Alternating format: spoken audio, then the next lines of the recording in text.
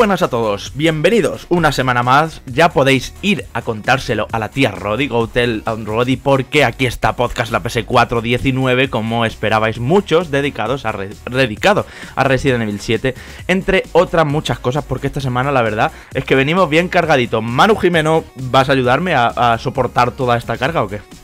Voy a ayudarte, Javi. Tengo muchas ganas de ver el, el debate que vamos a tener aquí sobre Resident Evil 7, sobre todo después de toda la marabunta de comentarios enfrentados, ¿no? Entre todo, entre toda la gente, ¿no? Que ha estado leyendo análisis, vídeos y tal. Así que, así que bueno, eh, sí que es cierto que, que, oye, tengo una sorpresa, tengo una Ahí. sorpresa para, Dale ahí. Todas aquellas personas que nos están escuchando al otro lado del aparato, ¿no? Si estuviéramos en una radio, así sería. Eh, el caso es que tenemos un nuevo sorteo, eh, chicos y chicas. Eh, vamos a sortear un Gravity Rush 2 con la misma mecánica de siempre, ya sabéis. Podéis comentar en, aquí mismo en, en iBox, en la caja de comentarios, en, en, la ps4.com, en lo que viene siendo la noticia que siempre hacemos para anunciar el podcast.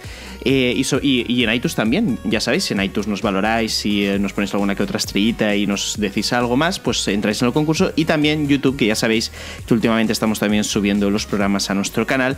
Y si dejáis algún comentario, también participáis directamente en ese sorteo de Gravity Rush 2. La semana que viene decimos ganador, efectivamente, Manu, cuatro vías de participación. iBox comentarios, iTunes reseñas, eh, la web, eh, el foro, eh, ya sabéis, dejáis un comentario en la noticia, o YouTube eh, comentarios. Pero, Manu, si te parece, voy a añadir una cosita más. Y es que al que nos salga ganador en ese sorteo totalmente aleatorio, ya sabéis, cogemos todos los nicks que han comentado y los metemos en una aplicación eh, que nos saca uno al azar, luego sacamos unos suplentes por si acaso no aparece ese uno, pero voy a stalkear que esté eh, registrado, que sea seguidor, por así decirlo, de arroba la-ps4 en Twitter, ¿vale? Porque... No sé, Manu, veo que últimamente tenemos con mucha gente aquí, pero que no está en Twitter, así que ya que estamos regalando, pues yo voy a poner esa condición. ¿Qué te parece? Me parece genial, además, que en Twitter, oye, así se enteran de todas eh, las cosas que escribimos, todo lo que eh, eh, informamos acerca de videojuegos. Así que, oye, eh, qué mejor, ¿no? Que tener un Gravity Rush 2 y encima estar informado acerca de todo el universo PlayStation. Manu viene regalando y yo poniendo normas. En fin, eh, Antonio López, hoy queremos oírte en unos minutos, bueno, en unos segundos. me vas a contar todo sobre Resident Evil 7. ¿Qué tal, tío? Pues muy bien, aquí vengo preparado para responder a todo lo que me preguntéis. Yo no traigo regalos, pero bueno, no se puede, no podemos ser todos Santa No, Claus, se puede ser que- todo. Se puede ser sabio y también podemos- Papá Noel. No podemos traer aquí de todo, si no, esto sería una verbena. Así que nada, vamos al lío. Muy bien, pues vamos, vamos al lío, eso es.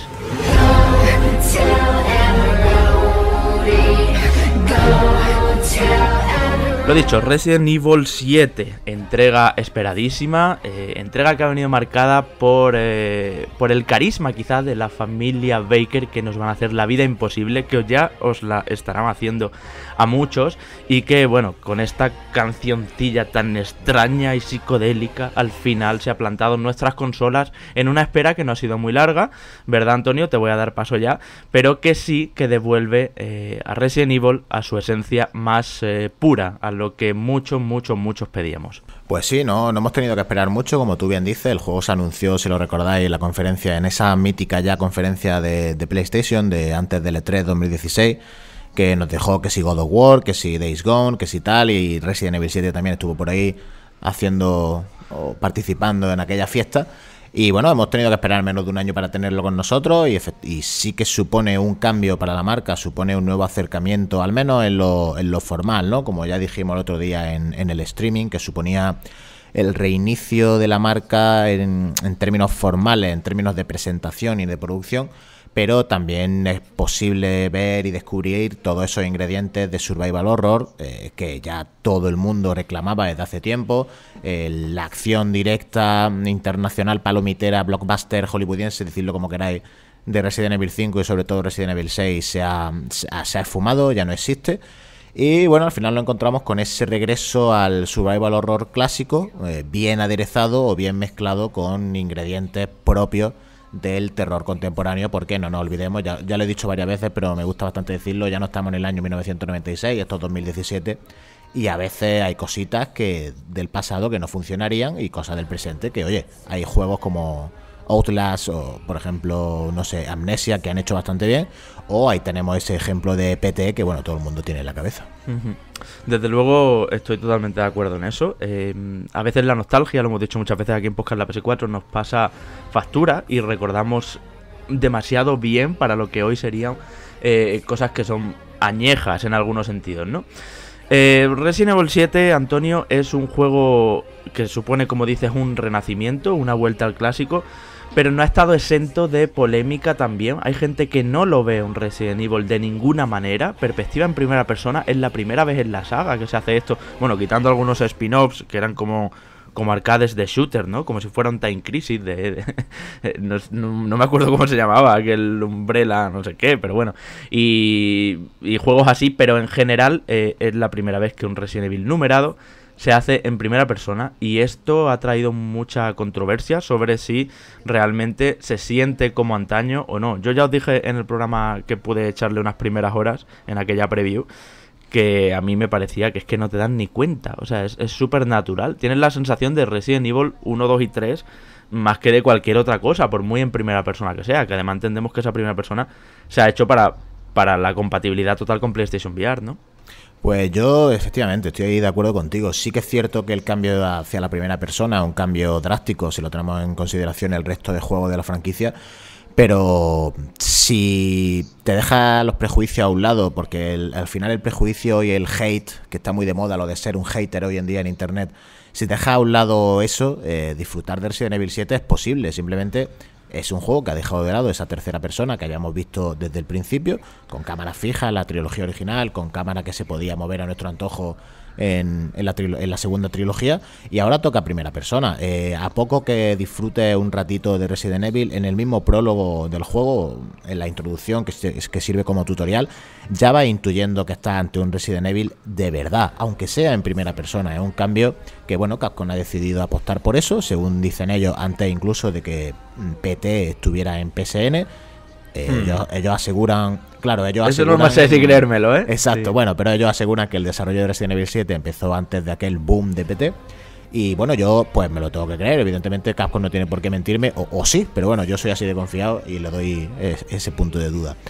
Pero ya te digo, sí que es cierto que la primera persona eh, hace que Resident Evil cambie, pero luego hay otro tipo de ingredientes y otra, otro tipo de elementos jugables que sí que lo hacen totalmente identificable con Resident Evil, como por ejemplo la necesidad de buscar llaves con forma de animales para abrir una determinada puerta o ese backtracking, esa necesidad de volver a un sitio o, revisar eh, un escenario concreto porque ahora tenemos una llave que puede abrir una puerta o una taquilla y ahora podemos coger lo que hay dentro que quizá sea el objeto que necesitamos para solucionar un puzzle concreto. Sí que es verdad que Resident Evil 7 no tiene puzzles extremadamente complicados, salvo quizá, no más que, más que complicado es utilizar un poco la lógica, cosa que yo no hice en, una, en una de las cintas de vídeo, es cierto, pero bueno, yo sí que le reconozco todos los elementos clásicos de Resident Evil, así como también le reconozco elementos mm, del terror contemporáneo, como he dicho antes, y esa primera persona que desde mi humilde punto de vista está muy bien implementada, te mete de lleno en la acción, eh, en los primeros 30 minutos de juego hay mm, un par de secuencias realmente perturbadoras que al vivirla en primera persona impresionan el triple de lo que impresionarían en tercera persona con sería totalmente diferente, exactamente. La inmersión que posibilita esa primera persona hace que este Resident Evil 7 también sea muy especial. También hace que cualquier enfrentamiento con los Baker o con otro cualquier enemigo adquiera una dimensión diferente. Es decir, a veces, como digo, eh, hay que dejar los prejuicios a un lado y aceptar cambios que, bueno, quizá te sorprenda, ¿no? El cómo lo ha, cómo ha sido implementado y yo creo que en este caso la primera persona está bastante bien, aunque bueno, puedo llegar a entender que haya gente que ni de coña quiera probarlo porque está en primera persona, porque son Resident Evil y tal. Pero volvemos a lo que estaba diciendo antes. Si no eres capaz de abrir un poquito la mente, bueno, pues nada, eh, recupera la trilogía original, póntela en la primera PlayStation y disfrútala, porque desde luego este Resident Evil 7 no te va a ofrecer lo que quieres, porque ni siquiera en tu mente eres capaz de darle una oportunidad. Y ni siquiera tiene zombies. Ahí está Antonio, ¿no? Eh, eh, creo justamente que, ahí está pues la clave de todo, el, saber que, mm, vale, es cierto que hay, han habido juegos como el primer Resident Evil, el segundo e incluso el tercero, que han marcado una época, ¿no? Que a todo el mundo se nos han quedado ahí en, en, la mente pues grabados prácticamente a fuego, pero también hay que tener en cuenta que luego la segunda parte de Resident Evil, al menos la segunda parte numerada, el 4, 5 y 6, son, han sido juegos más volcados a la acción que ya rompieron todavía más aún, ¿no? Con lo que eran aquellos primeros tres títulos. Creo que los tiempos cambian, eh, también la tecnología cambia. Yo ahora mismo creo que sería impensable el tener escenarios pre-renderizados con una cámara fija, ¿no? A la hora de, de, jugar. Creo que sería muy incómodo, creo que sería algo que nos echaría muy para atrás, ¿no? Hoy en día tener este tipo, este tipo de mecánicas. Pues si es que incluso vemos que uh, el, propio Shinji Mikami ha cambiado un poco también la forma de, de hacer los videojuegos de, terror. Si nos vamos a Devil Within, vemos que Devil Within ya sí que decíamos que, bueno, que era un poco, se acercaba a aquello clásico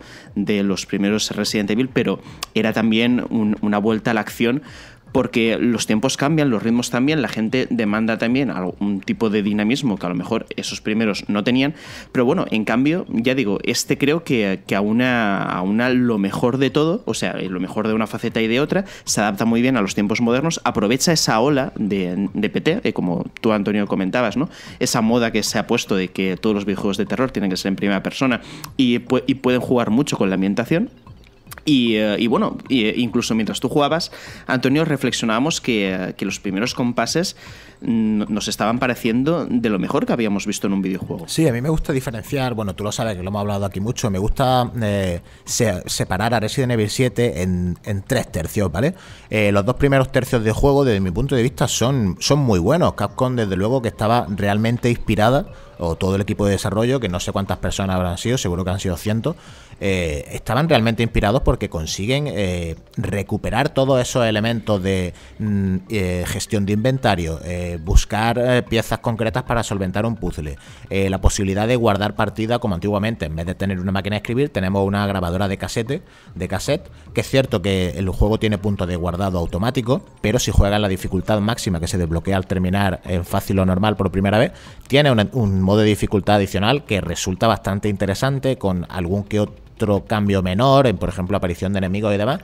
El caso es que tiene todos esos elementos que hacen de Resident Evil un juego totalmente reconocible con la franquicia. Sí que es cierto, como decía, que si dividimos el juego en tres tercios, el último tercio del juego se vuelve algo lineal y le da algo de prioridad al combate. Eh, no es que el combate sea el protagonista, pero hay bastantes más enfrentamientos. Se suceden de forma más consecutiva de lo que viene sucediendo en, el, en la parte anterior del juego. Yo creo que por ese motivo Resident Evil 7 no es el gran título o la obra maestra indiscutible que muchos esperábamos, pero desde luego me parece un juego notable en su conjunto, que es cierto que tiene un pequeño bajón en su último tercio, pero que también tiene, pues, como hemos dicho, todos esos elementos de survival horror, más esos elementos de, de juegos más modernos. Sí que hay gente que he leído muchos comentarios, esto es un Outlast, Outlast Evil 7, no sé qué. No, esto no, esto Outlast no tiene nada que ver con ese juego. Quiero decir, por lo menos Capcom te da la posibilidad de defenderte, de coger una escopeta, de coger una pistola y otra arma, intentar plantarle cara al bicho que viene hacia ti. Es cierto que tienes que tener cuidado con la munición, sobre todo los dos primeros tercios del juego, como digo, porque a lo mejor va justo y te pone a disparar con una escopeta como un loco y te quedas sin bala y luego viene algo peor. Hmm. Pero no es un Outlast. Tiene cosas de Outlast, de Amnesia o de PT, como hemos dicho, y de otros juegos de este tipo de primera persona, pero tiene su propia personalidad y Capcom, creo yo, al final todo esto no deja de ser más que mi humilde opinión, creo yo que ha conseguido mantener esa personalidad de Resident Evil y adaptándola un poquito a, los tiempos que corren. Yo creo que esa confusión con Outlast eh, se produce más que nada, lo hemos dicho también aquí en el programa, por la demo, que no es del todo representativa de la acción que luego tiene el juego final, ¿no? La demo es más PT o más Outlast que lo que luego tenemos en el, en el juego. Eh, hablabas, Antonio, de, de, bueno, de carisma, de identidad, de un juego que sin duda va a quedar en el recuerdo por los Baker, ¿no? Esa nueva familia que nunca había aparecido en la saga Resident Evil. Por cierto, quiero que hablemos ahora de conexiones argumentales o, o algún algo, algún ápice, mm, sin spoilers, ¿no? Pero que me cuentes si de verdad se siente como un Resident Evil en algún punto. Se habla de algún personaje conocido, se habla de los laboratorios de Umbrella, se habla de Raccoon City, no sé. Pero bueno, los Bakers, puro carisma, ¿no? Eh, cada miembro de la familia por su lado, eh, cada uno suponiendo situaciones, siempre desagradables, pero situaciones distintas. Y a mí creo que es lo que más me ha gustado y por lo que lo vamos a identificar siempre. Sí, desde luego. El Resident Evil 7 tiene un protagonista que es un poquito soso, eh, que es el Ethan este al que tú manejas en todo momento. Y la verdad es que lo he encontrado bastante soso. El tío tiene menos gracia que, yo qué sé, no, no se me ocurre ninguna comparativa porque es que realmente no tiene gracia ninguna. Pero eh, Resident Evil 7 tiene a esa familia de, de locos sureños, paletos, rednecks, que dirían los yankees que me parece, vamos, el carisma personificado en un villano. De hecho, estábamos preparando, Manu y yo, bueno, y todo un poco, un vídeo especial sobre villanos de esta generación y nos hemos dado cuenta de que esta generación se ha quedado un poquito coja en comparación con la anterior. Pero ahí tenemos a ese Jack Baker, a Margaret, a Lucas, a la tía Roddy y a otras cosas que no voy a comentar. Pero son puro carisma, son tan incansables como Nemesis. cada uno te propone porque te enfrentas a ellos o tienes que convivir con ellos en diferentes niveles y cada uno te propone un tipo diferente de, de conflicto, de dificultad. Desde luego, para mí el que mejor ha salido de todo es Jack, el, padre, el patriarca, por así decirlo. Te pone las cosas bastante difíciles. De hecho, hay un enfrentamiento, hay varios enfrentamientos con él y son muy complicados. Y la, sorpresa que te lleva la primera vez que te lo encuentras por los pasillos, eh, desarmado, que la única opción que tienes es correr intentar esquivarlo de alguna forma eh, o torearlo rodeando objetos, la verdad es que te mete muchísimo en tensión y genera momentos de verdadera angustia. Yo creo que aquí han acertado de pleno con estos villanos. Es cierto que puede que alguno sea menos flojo, pero, pero bueno, o sea, más flojo, perdón, pero es cierto que alcanzar todo el nivel de Jack sea complicado.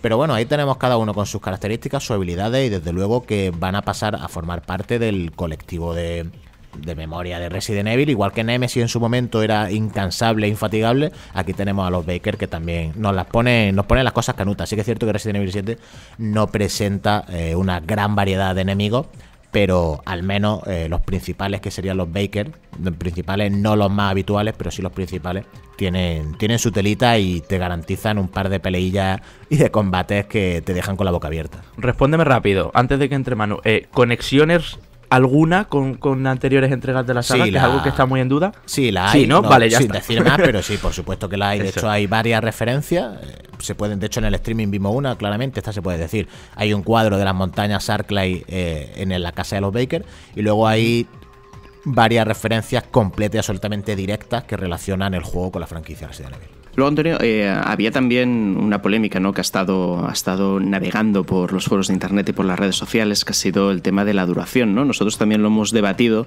eh, a base de bien durante estos días mientras realizabas el, el, análisis. Yo sí que tengo mi opinión, pero me gustaría saber la tuya. ¿Crees que, eh, que la primera vuelta a Resident Evil dura lo suficiente? ¿Tendría que haber durado algo más? ¿O realmente hay otro problema? ¿no? Que tal vez pueda ser ese ritmo al que tú aludías al principio, ¿no? cuando estabas hablando sobre esa parte final de juego. La primera vuelta yo creo que tiene un ritmo bastante bueno y una duración adecuada siempre y cuando disfrutes del juego. Es decir, lo que no tiene ningún sentido es que tú te pongas Resident Evil 7 o el juego que sea y tu objetivo sea pasártelo lo más pronto posible. Eso no es disfrutar de un juego, eso es ir a saco sin pararte a mirar hasta el último rincón o a inspeccionar hasta la última nota que hay o buscar todos los coleccionables a mí me duró unas 11 horas. Sí que es verdad que me atasqué un par de veces o me tomé algo con mucha calma o tuve que repetir algún enfrentamiento varias veces. Pero yo creo que un juego que puede durar sus 10 horitas en modo normal si te para a, disfrutarlo y a explorarlo como se debe explorar. Y que luego en una segunda vuelta, sí, es cierto, te lo puedes pasar en menos de 4 horas, ya sabes dónde está absolutamente todo, a no ser que lo juegues en dificultad manicomio, porque ahí te garantizo que si te lo pasas en 4 horas, la verdad es que te merece un premio. Así que sí hay, un, hay un trofeo, ¿eh? De pasárselo en menos claro, de cuatro por eso digo que es totalmente posible pasárselo en menos de cuatro horas, pero si en la primera vuelta te lo pasas en menos de cuatro horas, no sé, yo creo que así no se disfruta un juego. Yo creo que se disfruta eh, explorándolo como se debe explorar. Sí que es cierto que el problema para mí eh, que tiene Resident Evil 7 es que una vez terminado por primera vez, eh, te, te invita a completarlo una segunda vez, pero no tiene muchos más alicientes no tiene modo extras tipo mercenarios, tipo escenario extra como Resident Evil 2 con Hunk, ni nada así. Y eso es lo que a mí me ha echado un poquito para atrás, aparte de cómo cambia el juego en su último tercio. Esos son dos de los elementos que no me han terminado de gustar y por los que no el juego pues tiene la, nota que tiene, que creo que sigue siendo una, nota muy decente, un 85, un notable alto, yo creo que no está nada mal. Desde luego hay, hay, luces y sombras, ¿no? Y esta de la, de la duración para segunda vuelta, de la rejugabilidad, quizás sea una, una de las sombras, como dice Antonio. Y bueno, esto me hace pensar también en otro asunto que hablaremos luego, que es eh, si merece la pena o no comprarlo ya de lanzamiento a precio completo, el pase de temporada, los DLCs y eso. Pero no quiero dejarme, Antonio, PlayStation VR, el otro gran pie, la otra gran parte eh, del producto. Y además lo que se nos ha vendido. Y bueno, quiero que me cuentes un poco qué tal ha acabado audiovisualmente, tanto con mando como con el casco de realidad virtual, porque es el primer juego eh, hardcore, tradicional, no sé por decirlo así, que permite jugarlo de principio a fin eh, con PlayStation VR. Sí, Resident Evil 7 en lo técnico, en lo audiovisual, como bien dice, eh, es un juego en su versión estándar, ¿vale? En, viéndolo en la televisión, es mm. sobresaliente. Sí que es cierto que Capcom utiliza un poquito de trampa, porque no nos olvidemos de que simplemente estamos viendo un, escenario estático en el que de vez en cuando pues, te sale algún enemigo y tal. Claro, es más fácil crear un buen fondo con su iluminación brutal que la tiene, o con su pasillo oscuro y tal, pero sí es verdad que si te mm. paras a mirar detenidamente texturas, por ejemplo, que son, bueno, a mí estos detalles técnicos tampoco es que me interese mucho, pero si te paras a mirarlo con detenimiento, dices, uy, aquí a lo mejor no se lo han currado tanto como podrían. Pero bueno, es cierto que Resident Evil parte de esa pequeña trampa que, como digo, es presentar un, escenario, una habitación súper bien detallada, repleta de objetos, repleta de cositas que tú miras y dices, mira, he puesto aquí, yo qué sé, un cenicero con 16 cigarrillos aplastados cada uno y cada uno de una forma diferente. Tiene todos esos detalles pero tiene esa pequeña trampa, como digo, de todo muy oscuro, todo... Si te paras a mirarlo bien, dices, ah, mira, pero aquí se han olvidado de esto o lo han hecho un poquillo regular. Luego, por ejemplo, las animaciones y los personajes también están muy bien hechos, pero se nota algo raro o algo diferente con respecto a, los fondos. Pero de todas formas, el, aspecto gráfico me parece muy bueno, sobre todo gracias al sistema de iluminación. Y también el aspecto sonoro. En los sonoros Resident Evil 7 te hace. Yo creo que es lo mejor. Es que te hace cagarte vivo, porque tú, mira, incluso yo jugando la segunda vuelta, sabiendo ya todo lo que pasaba, hay escenarios en los que de repente cruje el suelo, se cierra una puerta o se oye un golpe en una ventana y te asustas porque dices, vamos a ver, ¿qué está pasando ahora? ¿Por qué está sucediendo esto si no debería? El apartado sonoro es increíble y te mete de lleno en, en el juego. También ayuda mucho el doblaje. He leído por ahí que Resident Evil 7 tiene un doblaje mediocre. Mm, yo creo que tiene un buen doblaje, tiene un buen nivel de doblaje y que un juego así llegue doblado al español, oye, pues agradece, sobre todo la familia Baker, porque quizá Ethan es que no da para que lo doblen con mucha alegría. Pero el doblaje de los Baker me parece increíble y tiene bastante detallitos buenos en su localización. Luego, si hablamos de PlayStation VR, eh, para mí la posibilidad de jugar en PlayStation VR, repito, para mí, es un complemento, es un extra. Es decir, Resident Evil 7 no presenta modos tipo mercenario, pero sí te presenta la posibilidad de jugarlo con VR.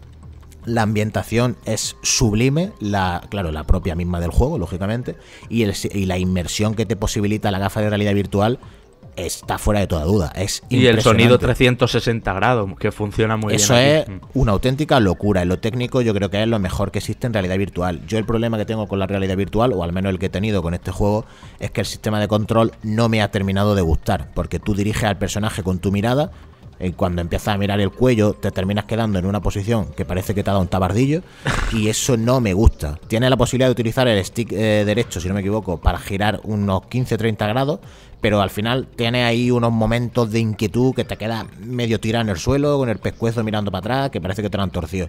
No me gusta, no me ha terminado de gustar el control, aunque sí que es cierto que funciona mucho mejor en las zonas de exploración que en los combates. Hay combates en Resident Evil 7 que en realidad virtual son muy espectaculares, pero uff, son complicados de disfrutar. Yo no me imagino determinados jefes con. Te obligan a correr, te obligan a girar rápido, te obligan. Y eso te vuelve loco. Es cierto que, eso, como digo, la inmersión es brutal, pero no me ha parecido tan a la altura de las circunstancias el control en realidad virtual. Bueno, pues para probarlo ahí está. Es, un poco el, debate que hemos tenido siempre con la realidad virtual, ¿no? El, el sistema al final de, desplazamiento con él. Hay, hay, dos métodos. Está el que, el que tú has descrito, Antonio, que es simplemente tú eres la cámara y con el stick vas moviéndote o vas girando también ciertos grados con el stick derecho. Y luego el otro es el de teletransporte. Pero claro, yo siempre he sido defensor del teletransporte porque me parece que es donde se disfruta mejor la VR sin que te marees y teniéndolo todo bajo control. Pero claro, en Resident Evil 7 es imposible usar este sistema porque, para empezar, eh, acabaría con toda la inversión, que ya has comentado muy bien que sobre todo te viene por esos sonidos, por, por ese ambiente lúgubre que, eh, que, tiene la casa de los Baker. Y, eh, y luego, además, pues, eh, por el tema de las batallas que también comentabas. No, sería imposible ¿no? teletransportarte mientras eh, intentas pegarle un tiro a no sé quién. ¿no? Sería un poco todo muy raro. Yo no sé realmente cuál sea la solución en el futuro acerca, de esto. Si será simplemente que la gente se acabe acostumbrando a, desplazarte con el Steam mientras tu cabeza va yendo de un sitio a otro. Pero no sé, yo estoy con Antonio, yo también he podido probarlo con, con PlayStation VR y me parece una experiencia bestial, es decir, a nivel de, de inversión es de lo mejor que he visto nunca en, eh, en, PlayStation VR. Lo que pasa es que, para empezar, no es, eh, no es una forma de jugar apta para cardíacos, a no ser que ya, te, que ya te hayas pasado el juego y así todo tendrás algún tipo de problema. Y sobre todo que, no sé, en general yo también prefiero que la primera vuelta sea con pues a la vieja usanza, ¿no? Con el mando encima de las manos y a la Yo recomendaría que la primera vuelta al juego sea de la forma estándar. La realidad virtual, como digo, para mí es un complemento, así que yo la, disfruté cuando ya había terminado el juego. Porque, no sé, me pareció que Resident Evil 7, por mucho que tenga realidad virtual, está pensado para disfrutarlo en tu tele, a oscuras, con el volumen ahí que te vuelva loco y ese tipo de cosas. Te preguntaba Snake Antonio, eh, uno de nuestros oyentes, precisamente sobre realidad virtual, si no ha influenciado a lo mejor demasiado eh, tu análisis para ponerle esa nota. Nos propone que quizá deberíamos hacer dos análisis diferentes de este tipo de juegos. Uno jugado en modo estándar y otro jugado con realidad virtual. Supongo que no, ¿no? O sea, tú vas a analizar el producto en general. ¿Qué, te voy a decir? Sí, claro, exacto. Yo le, le comenté a Snake que, evidentemente, el componente de realidad virtual influye a la hora de, valorar el producto. Por supuesto que lo he tenido en cuenta.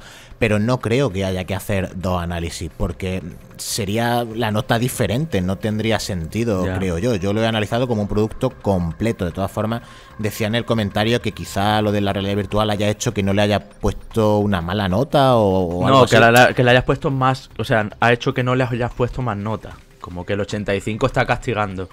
Claro, al final, bueno, es la nota que yo he considerado oportuna. No, no tenemos por qué coincidir todos en nuestras opiniones, no tenemos que regirnos todos por Metacritic, aunque en este caso haya sido un poco así, en el sentido de que curiosamente todos, todos hemos tirado por 85-90, 85-90. Ha habido, había habido bastante unanimidad, pero bueno, que no pasa nada porque uno tenga una opinión discordante, quiero decir, mientras se argumente y se explique bien. Mm. Pero yo, como digo, no haría dos análisis de Resident Evil 7, por, por una parte la estándar y por otra parte la realidad virtual porque me parece que la realidad virtual Resident Evil 7 es un complemento, un complemento maravilloso, porque joder, todo el juego en realidad virtual está guay, pero con sus pequeños defectillos, como le digo, el control o cositas como cuando de repente te cambia la cámara porque viene una cinemática o de repente ves los brazos de Ethan flotando en el aire. Tiene, tiene sus cositas la realidad virtual en Resident Evil 7.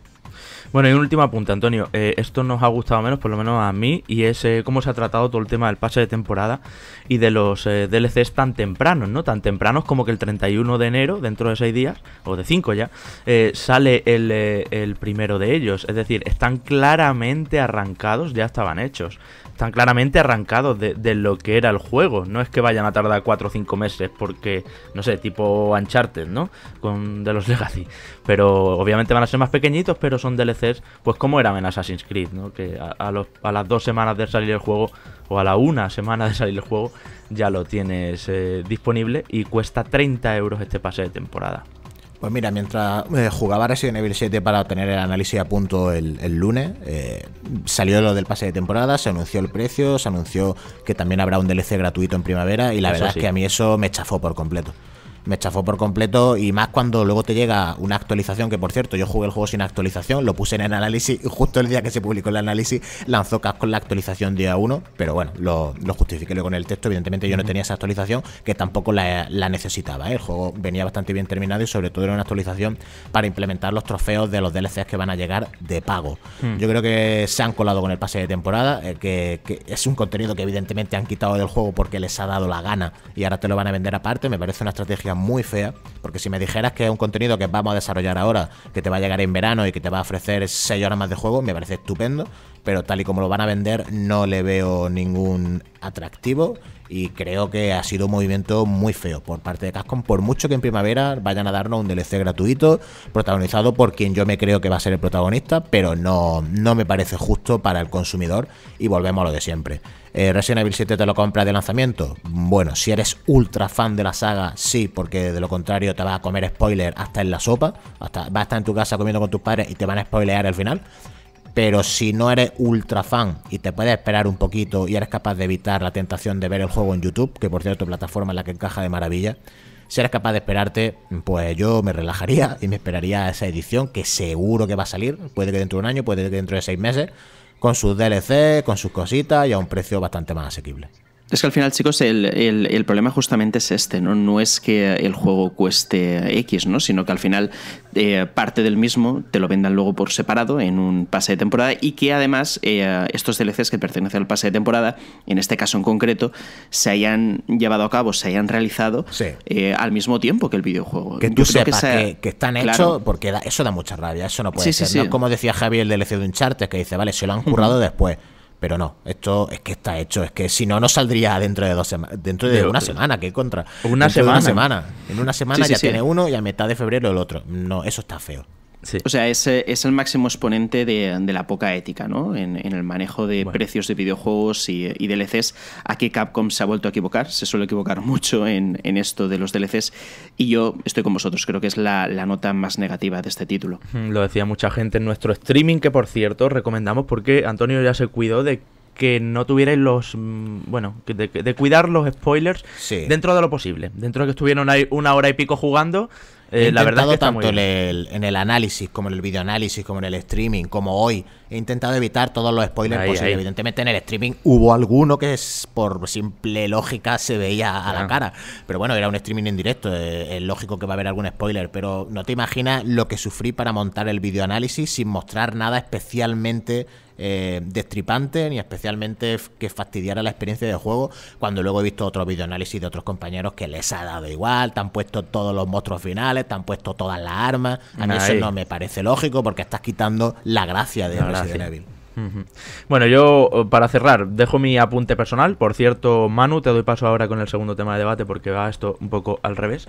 Y mm, yo me voy a esperar. Yo me voy a esperar porque lo que hablamos la semana pasada, visto la tendencia de que los juegos en un mes bajan, cuando esto esté a 39.90, voy a por el de cabeza.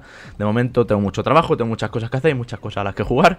Así que no me voy a esperar tanto como la GOTI, pero sí mm, a esa edición. Ahí lo dejo por si le sirve a alguien de consejillo. When you walk away, you don't hear me.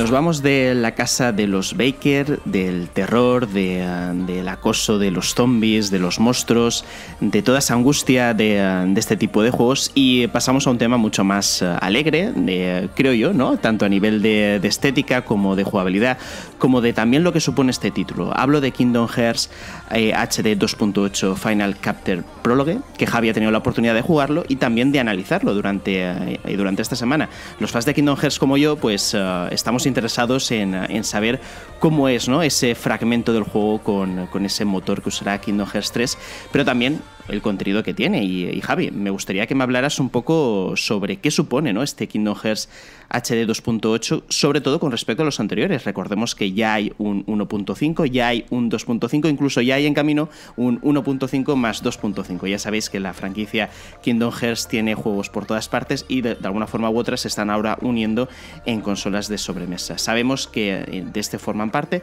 Dream Drop Distance HD, a Fragment eh, Passage y uh, Kingdom Hearts X Back Cover. Así, Javi, eh, coméntanos el contenido que tiene este Kingdom Hearts remasterizado. Bueno, pues a ver, hermano, efectivamente, como dice la franquicia Kingdom Hearts, la saga Kingdom Hearts, Antonio, no te acerques a ella porque esto es un galimatías. O sea, tiene una formada. Acabo de escuchar a Manu y estoy pensando, ¿pero qué ha dicho? Manu, el pobre, también se ha sentido desbordado ante tantos, ante tantos anglicismos, yo creo. Estoy ahora mismo más perdido que un hippie en Wall Street. O sea, no sé de lo que estáis hablando, tío. Horroroso. o sea, lo que hay aquí formado. .hd, .remasterizaciones, .gt calor, que no me estoy enterando de nada de lo que habéis dicho. Pues sí, efectivamente. Eh, este, este capítulo final, que también hace de prólogo de Kingdom Hearts 3, ojito, capítulo final de tema de remasterizaciones y repasos, que sabéis que empezó con 1.5 y 2.5, y como decía Manu, 1.5 más 2.5 llegará a PlayStation 4 eh, ahora en primavera, pero bueno. Incorpora Dream Drop Distance, que fue el Kingdom Hearts de Nintendo 3DS, y lo remasteriza en HD. Hasta aquí todo bien. Luego también el Kingdom Hearts de móviles, que por cierto es gratuito y está disponible tanto en Android como en iOS y os podéis descargar. Ese Kingdom Hearts Chi, ¿no? Que es como llaman a la X. Eh, hay unos resúmenes en el juego, una especie de película, no, no son resúmenes de texto, sino una película de una hora eh, hecha con el Real Engine 4, esa película, que es el motor que tendrá Kingdom Hearts 3. Y bueno, es eh, bastante sosaza, ¿eh? Al final son todo conversaciones y diálogos, no esperéis mucha acción en esa película animada, ¿no? No esperéis tampoco con muchas animaciones, se nota que es eh, pues cuatro escenarios concretos y todo el rato los personajes hablando en esos, en esos escenarios. Pero bueno, ahí hay un resumen de qué es lo que ocurre con todos los enmascarados animales, el gran maestro de la llave espada y todo eso. Pero lo más importante y el gran atractivo de esto, más allá del remaster de Nintendo 3DS, es ese Fragmentary Passage, efectivamente, que nos pone ya en situación de lo que va a ser Kingdom Hearts 3. Esto, Manu, te comentaba que funciona como, como aquel Ground Zeroes eh, de Metal Gear Solid 5 sobre The Phantom Pain, o incluso como el episodio de Sky de Final Fantasy XV, ¿no? Es un adelanto, un anticipo, un aperitivo que funciona como prólogo y que muestra mucho eh, en gran potencia eh, lo que va a ser el juego grande que viene, esperemos que pronto, porque yo no sé ya cuándo va a salir Kingdom Hearts 3. Entonces, eh, a partir de ahí, ahí está el gran atractivo. Jugar una demo, una demo de unas dos horas y media o tres, no dura más, de primera vuelta y a ritmo normal. Luego, si quieres hacerle los trofeos y completarla al 100% y todo eso, pues igual te está cinco orillas, pero, pero es que no dura más, o sea, es un prólogo absoluto. Y esto es lo que hace que desde mi punto de vista este Kingdom Hearts HD 2.8 sea el menos atractivo de todas las remasterizaciones que han salido porque no tiene tanto contenido. Antiguamente estábamos acostumbrados a que vinieran dos juegos completos remasterizados, uno de portátil y uno de los de PlayStation 2, de los clásicos, de los grandes, ¿no? Y ahí tenías, pues yo que sé, igual 70-80 horas de juego. Para pasarte esos dos ya tenías eso. Sin embargo, aquí lo que tienes es Dream Drop Distance HD, que no es excesivamente largo tampoco, porque era un juego de Nintendo 3DS. No llega a las 30 horas, yo creo. A lo mejor para completarlo sí. Y luego, pues eso. Mm, tres horitas más en esa Fragmentary Passage. Desde este punto de vista, yo creo que este juego tenía que haber salido por lo menos 10 euritos más barato. Mm, no me parece que de contenido eh, sea muy completo. Pero claro, está el mono ahí de todos los fans de jugar ya Kingdom Hearts 3, eh, aunque, sea, aunque sea con el personaje de Aqua y descubrir un poco aquella historia de cómo terminaría eh, el Kingdom Hearts de PSP, el Birth by Sleep. Pero bueno, hay mucho fanservice, por supuesto, se pasa por escenarios que conocemos, se pasa por escenarios nuevos y sobre todo estás jugando en Unreal Engine 4, estás viendo cómo se va a ver el juego, cómo va a ser el combate, estás viendo que es precioso, el Unreal Engine 4 curiosamente es un motor que va a funcionar muy bien en este estilo de dibujo animado que tiene Kingdom Hearts, es muy colorido, la iluminación, los combates son muy verticales, Aqua tiene doble salto, estás todo el rato por los aires, eh, tiene diferentes nuevos comandos que se adaptan a las situaciones, eh, recupera además todo eso de grindar barandillas, eh, dar vuelta en farolas, todo eso, ¿no? Y eso es eh, pues muy guay poderlo jugar ya anticipadamente, pero ojo a qué precio. Digo un poco lo que decía con Resident Evil 7. Quizá os recomiendo que esperéis un poquito, fans de Kingdom Hearts. Sé que no vais a poder, pero los demás quizá podíais esperar un poquito para, para probar esto. Y creo que he resuelto casi todas las preguntas. Sí, eh, así un tirón. ya, sí, sí, sí, sí. Pero es. no hace falta que, hay, Una que hay una que te quiero hacer porque a mí yo he probado Kingdom Hearts, ¿vale? Pero claro, me pierdo muchísimo aquí con toda esta locura mm. de, de juegos aleatorios lanzados a lo loco y así parece sin ningún tipo de planificación. Parece, ¿eh? Por supuesto que la tiene. Pero si yo, por ejemplo, ahora quiero jugar a Kingdom Hearts 3, es imprescindible este 2.8 Final Chapter Prologue que no le han puesto más palabras porque no era posible. yo espero, Antonio, lo decía en el análisis, que no. Espero que Kingdom Hearts 3 sepa tratar bien al que no ha jugado a todos los previos, al que llega por primera vez a esa saga, no sé, se me ocurre un chaval de 14 años que eh, no, no le estaban haciendo cuando empezó esta serie y era muy pequeñillo cuando iban saliendo diferentes episodios, ¿no? O incluso no tenía esas tantas consolas, porque es que esto ha salido en todas las plataformas posibles. Falta un Kingdom Hearts en Wii U y ya hacen el completo. Entonces, eh, yo espero que no, que Kingdom Hearts 3 cuide eh, de hacer, se cuide de hacer una introducción en condiciones para quien no ha jugado pero también digo, me da la sensación, con tantos remasters que están sacando y tantas historias, que a lo mejor pasan de mí, eh, pasan de todo el mundo, y sí, y empieza Kingdom Hearts 3 dando por hecho, dando por sentado que te sabes cómo están los acontecimientos, que son muchos, son muchos arcos distintos y son muchas cosas, es muy complicado. Entonces, eh, ¿yo qué recomendaría? Yo creo que, el 1 y el 2 hay que jugarlos sí o sí. O sea, son, son clásicos de PlayStation 2, Manu estará conmigo ahí, y esos son los que sientan las bases de todo el, argumento. Y bueno, Final Chapter Prologue creo que, también puede ser un, buen punto de partida, pero ya os digo, ahora mismo me parece que está un poco caro en, este, en este paquete. Por cierto, aprovecho para decir, nuestro compañero César Rebolledo la semana que viene va a tener un especial recordatorio, repaso de lo que ha sido toda la saga, que recomiendo a todo el mundo no te compres nada, Antonio, te lees lo de César y a por Kingdom Hearts 3. lo, hacemos mucho más fácil y hasta hoy, bueno, lo que sí que te iba a preguntar también, aprovechando que estamos hablando un poquito de Kingdom Hearts, es, eh, ¿vamos a ver Kingdom Hearts 3 en algún momento o ya cuando tengamos chiquillos, eh, estemos jubilados y ese tipo de cosas? Porque no se sabe absolutamente nada del juego, o no se sabe casi nada pensábamos, eh, Manu, te doy palabra que quiero irte sobre esto, pero pensábamos que se venía a lo mejor en 2017, que este era el momento, pero dadas las declaraciones de Nomura de la semana pasada diciendo que vamos a calmarnos, que aquí queda mucho todavía, están todavía, Manu, haciendo nuevos mundos Disney que no se han anunciado. O sea, tremendo. Sí, eh. Yo creo que no, no va a estar en 2017 y yo espero y supongo que 2018, pero claro, se junta con Final Fantasy VII Remake, no sé, no sé. Nomura me tiene despistado por completo. Los planes, creo yo, más lógicos hubieran sido que, durante este año hubiera aparecido Kingdom Hearts 3, pero está claro que el título continúa muy verde. Eh, recuerdo, Antonio, eh, que lo vimos en, en, un E3, creo que el primer E3 de esta generación, y, y ya en aquel entonces intuíamos que no era un título título que ya estuviera ni mucho menos avanzado, que va, era simplemente un par de eh, un par de escenarios que habían creado y que habían puesto ahí en la conferencia de, PlayStation. De cualquier otra cosa, vaya. Claro, claro. Entonces, bueno, eh, ahí vimos que Square Enix volvió a caer en el error de vender algo que todavía no, no era sólido. De hecho, de, aquel entonces ahora eh, se produjo el cambio del motor. Tenían otro motor, cambiaron al Unreal Engine 4, que oye, que esa era una de las dudas que te quería preguntar, pero que ya la has respondido Javi, que si funcionaba bien. Porque, sí, por abreviar tiempos, por abreviar tiempos le he dicho, mira, meto todas las preguntas en, mi monólogo. Pero que es interesante porque eh, yo creo que era una de las dudas que, eh, más podía hacer eh, tambalear las esperanzas sobre el futuro Kingdom Hearts 3, ¿no? Que qué pasa con ese motor gráfico. Me he quedado tranquilo al ver que, bueno, que me has dicho que funciona muy bien, que incluso el tema del doble salto, que es esencia Kingdom Hearts, ¿no? Eso es mm. muy, muy importante. Y luego quería también comentar un poquito la diseminación de juegos, ¿no? Que hay entre todas las plataformas en en, Kingdom Hearts, ¿no? Que se, han podido ver en PlayStation 2, en, PlayStation 3, en Nintendo 3DS, en Nintendo DS, es decir, una auténtica locura.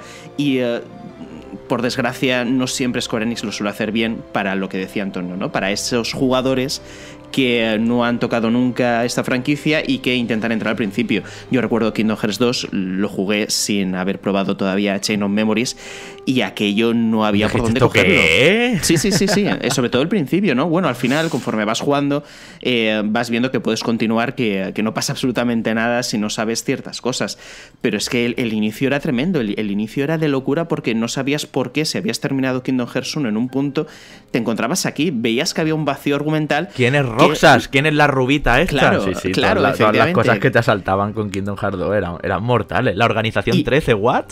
Sí, sí, sí. Y luego cuando te dabas cuenta que te hacía falta otra consola con otro juego para enterarte de ese vacío que había ocurrido, era cuando se te caía el mundo a los pies. No sé, yo creo que Nomura se volvió loco en un eh, momento determinado. No creo que fuera él, ¿no? El que, el que realmente pensara que Kingdom Hearts fuera de esta forma. Creo que el éxito del primero mm, desencadenó luego que Square Enix viera aquí la nueva gallina de los huevos de oro, intentaran aprovechar eh, el tirón en diferentes plataformas, ¿no? De hecho, por eso, tal vez el argumento sea tan enrevesado de tantísimas vueltas. César nos comentaba, ¿no? Que tenía un desarrollo circular, imagínate, ¿no? Eh, creo que ya no saben ni por dónde, ni por dónde andan, pero oye.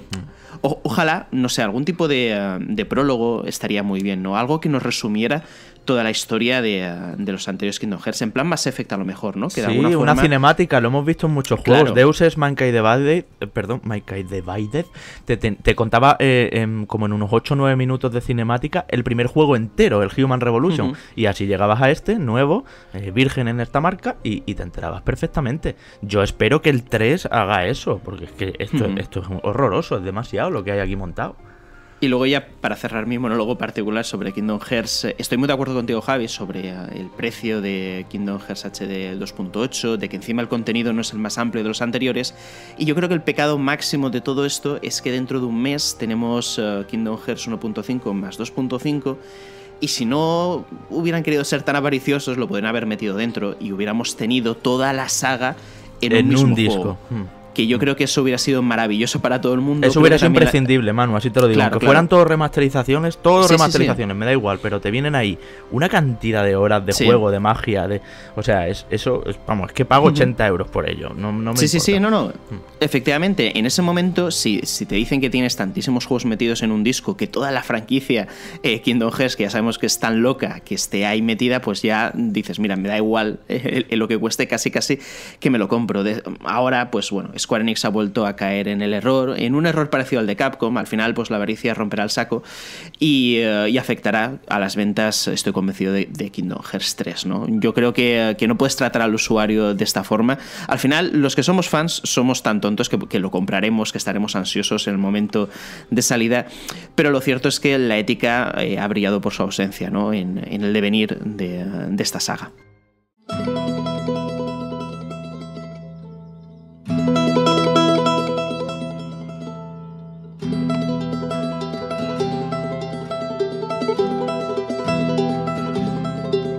Y bueno, seguimos con el cambio de papeles de presentador. Hoy vamos a rotarnos aquí todo. Esto parecemos un equipo de fútbol repleto de estrellas, aunque nosotros sin duda tenemos muchísimo más atractivo, aunque menos dinero. Pero bueno, Estrellados. No, se puede tener, no se puede tener todo en la vida. Y vamos a hablar un poquito de Ghost Recon Wildlands, Javi, que si no me equivoco viajaste el otro día a París o a Londres, no recuerdo ahora dónde era, para probar la nueva propuesta, la nueva apuesta de Ubisoft por el juego cooperativo de acción, tercera persona nos vamos hasta Bolivia para enfrentarnos al cártel de Santa Clara, si no me equivoco, para... Santa Blanca. Santa, Blanca, para tirar abajo a ese tráfico de drogas que ahora está que podríamos bien podría haberse llamado Ghost Recon Narcos y hubiera tenido el triple de venta. Y bueno, ¿qué nos puedes contar al final? ¿Es, es lo que podríamos esperar de este Wildlands? Pues como dice Antonio, Wildlands es puro narcos hasta el punto de que el, malo malísimo, el sueño, que es como se llama, el tipo ahí tatuado, eh, rapado, ¿no? Un personajazo, un pedazo de narco, creo que tiene bastante historia detrás. Eh, dice plata o plomo, ¿sabes? O sea, no, no, no hay ningún tipo de corte en las referencias a Pablo Escobar y, y todo su universo que ha creado la serie de Netflix. Pero ¿es lo que esperábamos? Pues sí y no. En parte eh, sí, porque es un cooperativo que va a decir mucho, yo creo, en el, en el terreno que GTA Online empieza a, ir dejando paso a otros, porque es el máximo referente ¿no? de, mundos abiertos de acción eh, criminal donde puedes jugar con otros amigos. Pero bueno, también es un single player que, que, funciona muy bien. La inteligencia artificial funciona muy bien. Ahora la inteligencia artificial aliada, ahora os lo cuento.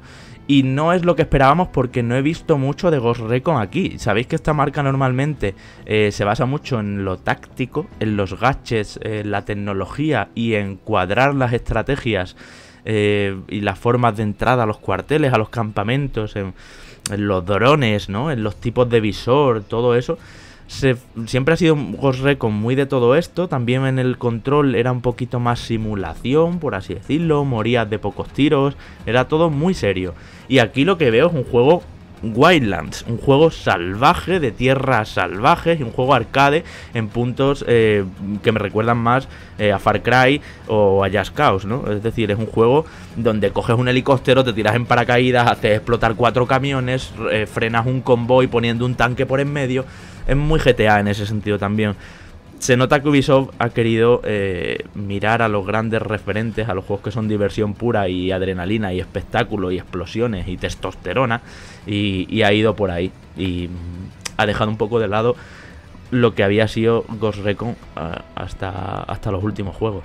Veíamos, Javi, en tu. Porque por si no lo sabéis, tenéis un vídeo de gameplay en el canal de YouTube de la PS4 de unos 40 minutos cargadito de, de in-game de este Ghost Recon Wildlands.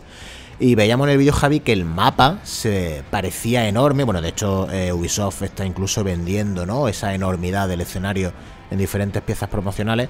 Y tengo la pregunta de saber, tengo la duda de si el, este escenario tan gigantesco está repleto y si este repleto de cosas por hacer o de cosas por descubrir y si este Ghost Recon Wildlands eh, ofrece el contenido y las horas de juego o lo que tú puedas intuir teniendo en cuenta que todavía no lo estamos analizando eh, el contenido y la hora suficiente de juego para convertirse en un cooperativo a tener en cuenta. Hmm, eso es muy importante, tener en cuenta, como dices Antonio, que yo he jugado unas cuatro horas, efectivamente en una preview en París, con medios de toda Europa allí reunidos. He jugado en single player y he jugado también en cooperativo online con otros. No tiene pantalla partida, que es una de las preguntas que, que nos hacían. El mundo abierto, Sí, es eh, súper grande, vamos, hasta el punto de que parece demasiado grande. Para ir de una misión a otra hay que darse unos pateos muy serios, ¿eh? Y es recomendable eh, conseguir cuanto antes un comando que hay para solicitar que te caiga un helicóptero del cielo, porque vienen eh, uno de los ejércitos que están en el juego, son los rebeldes, los guerrilleros de,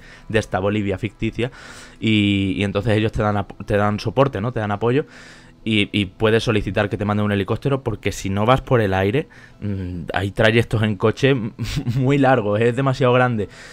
Tengo ciertas dudas y tengo ciertos miedos de si este mapa tan bestia va a estar denso, va a estar relleno de cositas que hacer, de diferentes pueblos y desde luego gráficamente es un espectáculo. Eh, em, la vegetación es muy frondosa, la iluminación está muy bien trabajada. He jugado en PlayStation 4 estándar, no en Pro, y, el juego se ve de maravilla. Eh, no hay ninguna ralentización, todo se mueve muy bien y ya os digo, es un mundo muy rico en, fauna y flora. Hay muchos animales y hay muchísimas plantas, eh, es muy denso pero no sé si va a ser tan denso en pueblos, en, localizaciones, incluso en misiones, ¿eh? porque estamos acostumbrados a que los juegos de Ubisoft se llama al final un mapa que vas desplegando y se va llenando todo de puntitos con cosas por hacer. Eso aquí está, pero creo que los puntitos están más separados entre sí. Entonces, no sé si el tamaño le ha sentado bien bien. Lo que sí, contenidos y horas suficientes para un cooperativo en condiciones, eso estoy segurísimo. O sea, parece ser un juego largo y cargado, cargado en el sentido de que tiene más de 80 vehículos diferentes, más de 60 armas, más de 60 armas, eh, son más armas que un Call of Duty o un Battlefield. O sea que yo creo que contenidos va a tener muchísimo, hay coleccionables, hay que subir de, nivel a los personajes, comprar habilidades. Creo que va a dar eh, mucha duración, pero ya veremos el tema de la repetición porque también mm, el planteamiento, como está formado, es que hay diferentes cárteles con los que tienes que ir acabando, pero antes de llegar a esos líderes de la banda de Santa Blanca, eh, tienen como unos subordinados con los que tienes que acabar. Y esto lo hemos visto ya mucho en sandboxes, lo vimos en Mafia 3, por ejemplo, y ya veremos eh, cómo, se discurre. ¿eh? Lo que sí me gusta es que por lo menos todos esos líderes tienen bastante, son bastante guay, tienen bastante trasfondo, son personajazos todos, por lo menos los que hemos visto, y, y puede ser que la historia esté chula. Hmm, y justamente ahí eh, quería oír, Javi, porque antes Antonio ha comentado muy acertadamente que los villanos de esta generación eh, son un poco chungos, ¿no? Por decirlo mal y pronto. No ha habido así ninguno que haya destacado por carisma, ni mucho menos, ni tampoco hmm. por presencia, ni diseño, ni nada. Me gustaría saber si eh, puedes ver en este Ghost Recon Wildlands el principio de, algo que vaya a marcar eh, al menos un, punto de inflexión en esta generación en, cuanto a malvados, en cuanto a, villanos que quieras eh, derrotar. No tenemos un Andrew Ryan en, PlayStation 4, no tenemos tampoco aquel, aquel loco demente de Far Cry 3, ¿no? que a todos nos, nos encantó. Lo encontraremos en Ghost Recon Wildlands. Y otra pregunta también, ya relacionada, ya que he comentado eh, Far Cry 3. ¿Es Ghost Recon Wildlands más Far Cry que cualquier otro, otra cosa, otro, otro título de Ubisoft que también has dicho que tiene influencias? ¿Tiene más de eso que, por ejemplo, que The Division? Sí, sí, sí, sí. Es muy Far Cry. Eh, también tiene... A ver, ya sabéis cómo trabaja Ubisoft, ¿vale? En, su, en cada lanzamiento recupera o recicla, según como lo queráis enfocar, todo lo todo lo que hizo buenos a, sus otros juegos o lo que ellos consideran buenas ideas o simplemente lo que ellos consideran trabajo ya hecho, ¿no? Eh, allá cada uno como lo interprete. Pero sí, vais a ver mucho de Division aquí. De Watch 2 2, por supuesto, ese dron está directamente reciclado. Eh, vais a ver de Far Cry. Far Cry muchísimo. Recuerda mucho a Far Cry, Manu, porque al final hay muchos campamentos que tomar, que asediar y que acabar con el líder de ese campamento. Y esos campamentos son eh, les puedes entrar por cualquier ángulo.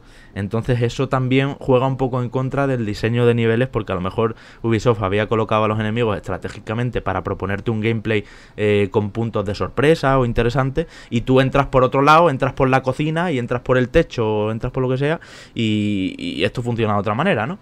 Entonces eso es muy Far Cry. También incluso de Rainbow Six Siege. Eh, vais a ver muchas cositas aquí. Los juegos de Tom Clancy al final tienen tienen cosas parecidas entre sí, ¿no? Y sobre lo que preguntabas del carisma, pues creo que a mí del tema militar y eso ya en The Division le pasó factura creo que no tiene tanta identidad como podría tener en tema de protagonistas. Luego también tened en cuenta que tenéis editor de personaje para crearos vuestro propio Ghost y siempre que un juego tiene editor de personaje, el protagonista está personalizado y no tiene no tiene ningún tipo de identidad ni de recuerdo, ¿no? Cada uno juega con lo que se ha creado. Pero sí me gustan, como decía, los, eh, los cárteles, los, los, los objetivos, ¿no? Que vamos a tener porque en esta primera preview he visto, por ejemplo, a una tipa que se llama La Yuri y es, es increíble, o sea, es una persona jasa, así como muy chunga, casada con otro tipo loco completamente que se llama el Polito. Son nombres así como muy spanglish, el Polito, la Yuri, ¿no? Y es muy gracioso. Y eso sí tiene, eso sí tiene identidad. Y espero y confío que el malo, el sueño, que es el, malo máximo, el líder de la banda, eh, tenga algo que contarnos, como decíamos. Nos preguntaban, Javi, eh, nuestro habitual ayahuasca Mm. que él tiene pensado eh, jugar a este Gold Recurse Wildlands únicamente con otro amigo más, es decir, que van a ser dos jugadores. ¿Se va a poder jugar a Wildlands en cooperativo sin ser cuatro personas? Es decir, imagino que serían dos usuarios y dos personajes controlados por la IA o cómo va esto? Hmm. Yo eh, no, lo, no lo hemos podido chequear esto pero yo creo que sí. Yo creo que el juego va a permitir eh, que seáis dos, tres o cuatro y los huecos que quedan hasta los cuatro no se rellenen con gente del mundo por ahí random, sino que se rellenen con personajes de la IA o si quieres podéis ser dos y los otros dos que sean dos personas que estén jugando en su casa, que estén jugando online y os unís los cuatro. Obviamente habrá una barrera de idioma y todo esto pero yo creo que va a funcionar así, que va a ser el jugador, el que, eh, eh, espero que funcione así, ¿eh? que va a ser el jugador el que, el que decida si quiere inteligencias artificiales o si quiere pues que los otros huecos, porque siempre tienen que ser cuatro, los rellene la inteligencia artificial. Jugado en single player, si no tenéis amigos con los que jugar o nadie más de vuestra pandilla está interesado en el juego, tengo que decir que la inteligencia aliada funciona muy muy bien. Son personajes eh, eficaces, de verdad. O sea, es como si tú casi a veces tienes la sensación de estar jugando con gente, aunque estés jugando tú solo y offline, porque la IA de tus compañeros mata todo lo que tiene que matar, se coloca donde se tiene que colocar, utiliza los gaches que tiene que utilizar y, todo eso. Eso va bien, no me ha gustado tanto, espero que lo arreglen de cara a la versión final, que falta un mes prácticamente. Eh, la IA enemiga. He visto que el juego no propone mucho reto y que los enemigos eh, se mueven, pues no ¿Os acordáis que, que, en el E3, cuando yo salí de la preview de uh, Ghost Recon Wildlands, dije lo mismo también? Es verdad, es verdad. Que lo peor que, lo peor que, uh, que había visto en, en, ese Ghost Recon Wildlands era que la inteligencia enemiga era un desastre. Yo en aquel entonces vi cosas rarísimas de, de enemigos que incluso huían de mí, que no se escondían bien que a lo mejor te, te, veían pero no eran capaces de dispararte, no sé, era, era todo como... Un poco tiro al pato, sí. Sí, pues, sí, sí. Pues me da miedo esto, Manu, porque claro, en el E3 ya lo viste, yo ahora sí. seis meses después lo vuelvo a jugar durante cuatro horas y lo veo... Mm, o arreglan o, o, se puede ir al lastre toda la experiencia. Lo que sí que es verdad, y aquí voy a dar un voto de confianza, es que he ido a muchas previews de Ubisoft y en el último mes es increíble cómo cambian los juegos. Es una hmm. compañía que no sé cómo trabajan o no sé qué código ponen en sus impresiones finales, pero, pero siempre en el último mes cambian mucho los juegos, así que ahí le vamos a dar un voto de confianza. Al final, en, en estas previews eh, queman, entre comillas, el disco dos meses antes de producirse. Es decir, el videojuego ya en principio tiene que estar más avanzado en, en ese proceso de, de pulido ¿no? que suelen tener. Así que, bueno, jugasteis seguramente a una versión eh, más, un pelín más antigua de- del desarrollo actual del título, estoy convencido de ello. Así que, así que nada, yo recuerdo también previews de, de Far Cry, de Far Cry 4, que aquella en concreto, eh, cuando fui, no también tenía funcionamientos eh, erráticos en, en algunas partes del título y luego en el lanzamiento se corrigieron sin ningún tipo de problemas. Juego salió muy Sí, bien. sí, a- además eh, lo bueno que tiene Ubisoft también es que aprovechan entre comillas que tienen a la prensa para preguntarles eh, qué, qué fallos ven en el juego, qué, qué cosas hay mal y se lo apuntan todo. y eso Hacemos es un poquito cierto. de testers, ¿eh? Ahí hacemos Sí, un sí, doble sí. trabajo, sí. O sea, habrá que pasarle eh, a, a- a Ubisoft el, trabajo factura. este, ¿no? Que, que nos lo pague, que estamos haciendo también trabajo de testes en ocasiones. Pero vaya, lo bueno es que sí que tienen esa, esa intención siempre de ver qué es lo que falla para intentar luego mejorarlo. Hmm, Sea como sea, eh, ya sabéis amigos que nos estáis oyendo, beta el 3 de febrero, a la que en la ps4.com eh, tenéis la noticia para poder inscribiros porque aún estáis a tiempo. Beta que por cierto, o si os toca, beta cerrada, que probablemente os toque porque va a haber muchas plazas, os da un código y además con ese código podéis invitar a tres amigos más. O sea que quien no lo pruebe el 3 de febrero es porque no quiere.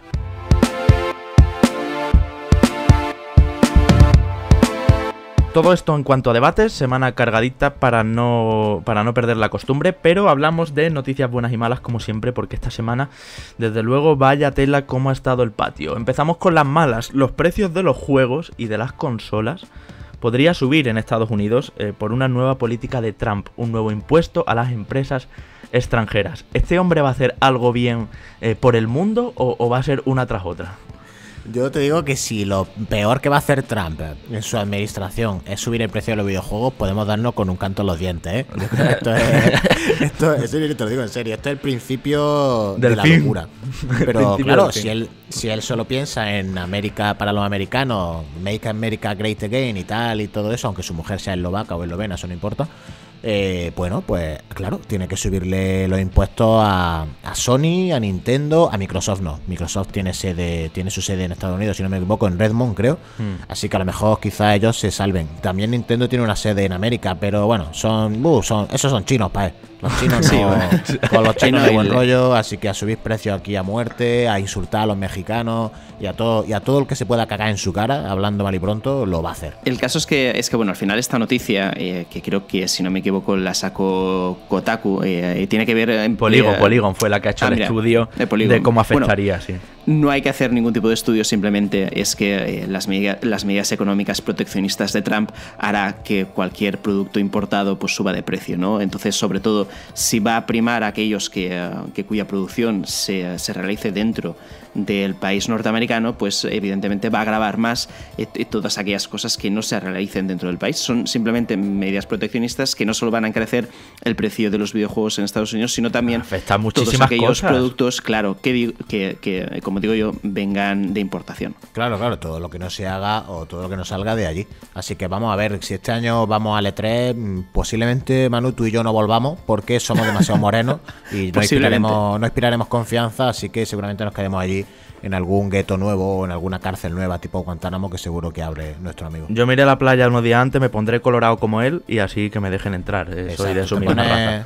te pones un pato muerto en la cabeza y ya cuela. Eh, correcto. En fin, eh, GTA 6 eh, se ha escuchado estos días, eh, bueno, pues en un, en un fake absoluto, ¿no? Pero eh, se supone que es como un mod de GTA San Andreas. En fin, GTA 6 para PlayStation 2 y se ha visto en una tienda, así como en un todo a 100 yo creo, de Brasil. Eh, es un juego, o un juego, bueno, por llamarlo de alguna manera, un producto que tiene en su portada nada menos que a Sarah Connor, ya la recordáis todos por Terminator. No sé qué os parece esta noticia, pero es como el cachondeo máximo, ¿no? O sea, un mod para PlayStation 2 de GTA San Andreas, que lo llaman GTA V6 6. es lo más chungo que hemos visto en mucho tiempo. Bueno, pues es, es, como cuando te vas a comprar, uh, yo qué sé, una mochila, un estuche y te mezclan los Power Rangers con, con Dragon Ball, ¿no? Pues esto pa parece que es... De Ricky Rouse, ¿no? Y cosas sí. así. Efectivamente. O sea. Esto parece ser que es, que es algo parecido, ¿no? Lo único que es eso, con pinta, con pinta de mod, con un mod uh, de, del San Andreas con el que le ponen uh, eh, Terminators.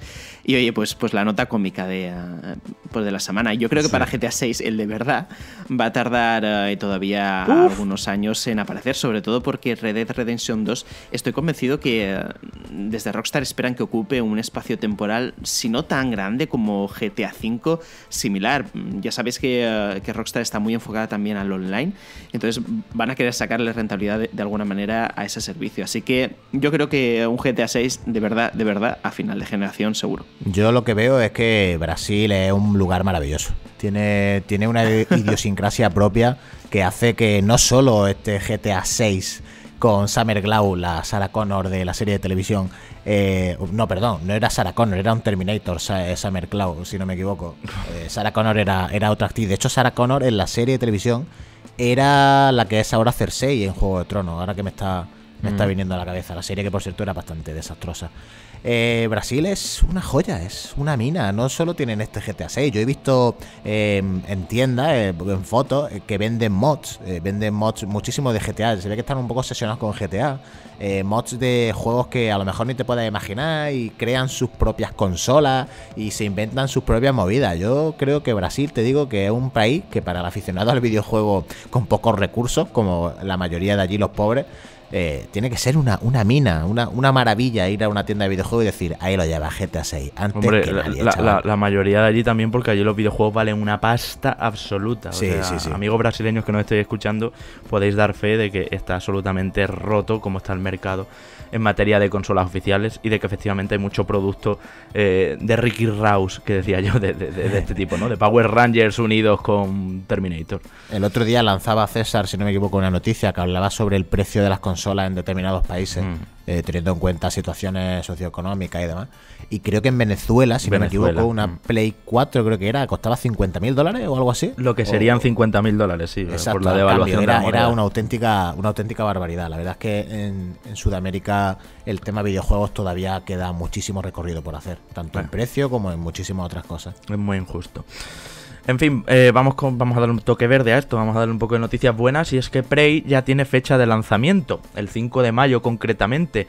Mm, chicos, yo no sé cómo lo habéis visto, pero yo no me lo esperaba tan pronto. Yo creí que este Bethesda solo iba a guardar para otoño y no, ahora Bethesda se queda solo con Quake Champions, más lo que anuncian eh, de cara a finales de este año. Pues la verdad es que sí que ha pillado un poco de sorpresa, pero no tanto, porque sí que recuerdo que cuando se anunció desde el primer momento decía Spring 2017, primavera de este año. O sea y han que cumplido, han cumplido, sí, han sí. cumplido y no creo yo que vaya a haber un retraso ahora cuando mayo está, como quien dice, a la vuelta de la esquina. No falta mucho para llegar a mayo. Sí que intuyo, como tú dices, Javi, que es verdad que se queda el otoño de Bethesda huérfano de juegos, pero bueno, está L3 ahí, seguramente hagan su conferencia y seguro que tienen algún juego tipo Fallout para anunciar eh, en esa conferencia y lanzarlo luego en otoño y tener ahí su, su, gran apuesta de cara a la campaña navideña, porque no creo yo que Bethesda vaya a apostarlo todo a ese Quake Champions que puede ser muy grande, pero recordemos que va a salir eh, únicamente en PC, si no me equivoco. Mm. Y, que es un producto peligroso porque llega ya a un terreno, el de los hero shooters, totalmente dominado por Overwatch y todo. Yo no sé muy bien cómo va a funcionar Quake Champions. Ojalá funcione muy bien porque esa saga me encanta, pero es peligroso desde luego. Prey, que eh, sabéis, yo lo he dicho alguna vez ya y este es mi punto de vista, se parece mucho a Dishonored y tanto como que es de los mismos creadores y veo muchos elementos de Dishonored en este juego. Así que son solo seis meses de diferencia respecto a Dishonored 2. Mm, no sé yo Sí, a lo mejor eh, había que haber hecho las cosas de otra manera con Prey, no sé, no sé. Si lo mismo termina jugando a un Dishonor en el tres. espacio, ¿verdad? sí, sí, Dishonor sí, 3 espacial. Es que veremos a ver si Arkane Studios sabe eh, diferenciar lo suficiente la, ambas producciones. Su juego anterior. Sobre todo en términos de... de... gameplay, obviamente en ambientación y en historia y todo eso va a ser muy distinto. Claro, pero... cada uno tiene sus cosas, pero bueno, eh, Arkane sí que es cierto que antes de meterse en Dishonor eh, nunca había hecho secuelas ni nunca había hecho nada así, o sea que bueno, podemos darle ese voto de confianza porque sí. a ver si con un poquito de suerte nos sorprende. Lo que sí me llamó mucho la atención es que en el tráiler que pudimos ver, el de la fecha de lanzamiento, había bastante más acción que otra cosa. A ver si al final el juego tira un poquito más por la acción o mezcla también sigilo, no sé, ya veremos con qué nos encontramos. Y otra noticia mm, buena para los que la compartan, no sé.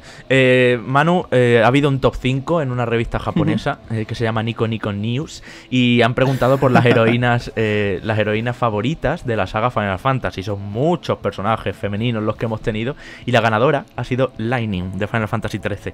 Yo no puedo evitar preguntarte cuál es la tuya, pero vamos, ya os digo, Final Fantasy XIII quizá en Japón es un fenómeno del que no somos mm. tan conscientes aquí, con tanto que rajamos de ese juego. Ahí lo tenéis, no solo Lightning la 1, sino que la 4 es Sera, la, hermana y protagonista de Final Fantasy XIII 2, y la quinta es Vanille, que er, es también de Final Fantasy XIII. O sea, tres de los cinco personajes favoritos de la saga Final Fantasy son de Final Fantasy XIII, según esta encuesta japonesa, que ha sido bastante tocha, por cierto, la encuesta. No es que haya sido unas cuantas cientos de personas. ¿Con cuál te quedas tú, Manu? No me digas que con Lightning. No, no, no. Eh, pero oye, eh, te voy a decir que seguramente eh, Lightning sea uno de los mejores personajes que tiene la franquicia en general. Otra cosa es que a nosotros Final Fantasy XIII no nos hiciera demasiada gracia o que incluso los dos siguientes títulos tampoco fueran de nuestro agrado. Que por cierto, justamente por lo que dices, tanto la segunda parte como la tercera fueron más orientadas ¿no? al, gusto oriental que no tanto al occidental. Mm. Cosa que pasa al revés, ¿no? Con, con tal vez este último Final Fantasy XV. Pues eh, mi personaje femenino favorito, eh, así pensándolo un poco rápido, creo que sería Garnet o Daga. Ah de, de, Final Fantasy IX. Rinoa también la estaba pensando, no sabía cuál de las dos, pero creo que no hay comparación posible. ¿no? Garnet tiene mucha más fuerza, tiene mucho más peso e importancia en, ah, en esa entrega. Creo que el poder que tiene es, ah, es también bestial, similar al de Yuna. ¿no? Son, son creo, dos mm. personajes femeninos muy, muy potentes y eh, serían eh, ellas dos, ¿no? Tanto Yuna como Garnet, eh, mis, mis personajes femeninos favoritos. Si si pudiéramos eh, meter invocaciones, pues, pues metería Shiva también, ¿no? Que, que, es una invocación icónica además eh, y, muy espectacular. Bueno, pues yo, yo me voy a quedar con. Ahora te pregunto a ti también, Antonio. No sé si controlas tanto Final Fantasy como para decirnos, pero yo me voy a quedar con Yuna, sin duda. Eh, ha sido la que ha estado segunda en este ranking o tercera, no sé, segunda. Y Final Fantasy X no es que sea quizá mi Final Fantasy favorito, aunque también, pero no sé, Yuna era maravillosa, adorable y la quise muchísimo. Antonio, ¿me dices algo? Eh, a lo mejor del 15, aunque sea, que te lo has jugado. me voy a abstener de, hacer ningún comentario porque la verdad es que me quedaría mal. No tengo el suficiente conocimiento como para haceros un top de, de heroínas de Final Fantasy. Mm, la otra que ha entrado en ese top 5, ya para cerrar, es Tifa.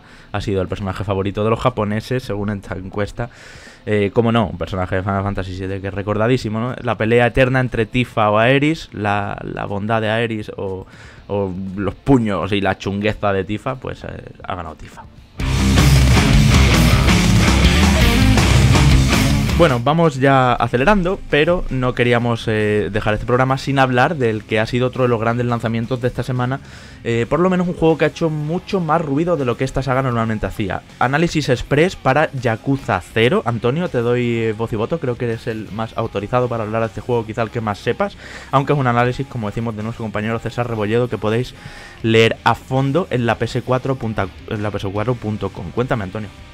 Bueno, pues tal y como dice, César ha sido el encargado de hacer el análisis, pero bueno, yo voy a intentar hacer un pequeño resumen. Estoy de acuerdo con lo que dice César, eh, Yakuza 0 no es un juego contemporáneo, no es un juego de 2017, un juego que salió hace ya eh, dos años, si no me equivoco, en tierra japonesa. Ya sabes que esta marca suele tardar muchísimo en llegar a Occidente, eh, aún teniendo una base de seguidores muy fiel, incluso en España, cosa curiosa porque nunca se ha localizado eh, al español un juego de la marca Yakuza, cosa que si se hiciera, si Yakuza llegara con unos buenos subtítulos en castellano, ni siquiera estoy hablando de un doblaje, simplemente de unos buenos subtítulos en español, seguro que funcionaría mejor porque se trata de una marca muy fuerte para los usuarios de PlayStation asiáticos, que bien podría serlo eh, también aquí en Europa, en Occidente, porque ofrece una cantidad de horas de juego, una cantidad de opciones a nivel argumental, jugable, como digo, que está puede que incluso por encima de un grande Auto, ¿sabes? Eh, la cantidad de minijuegos que hay presente, eh, la cantidad de personajes, el buen apartado técnico, porque tienen un buen apartado técnico,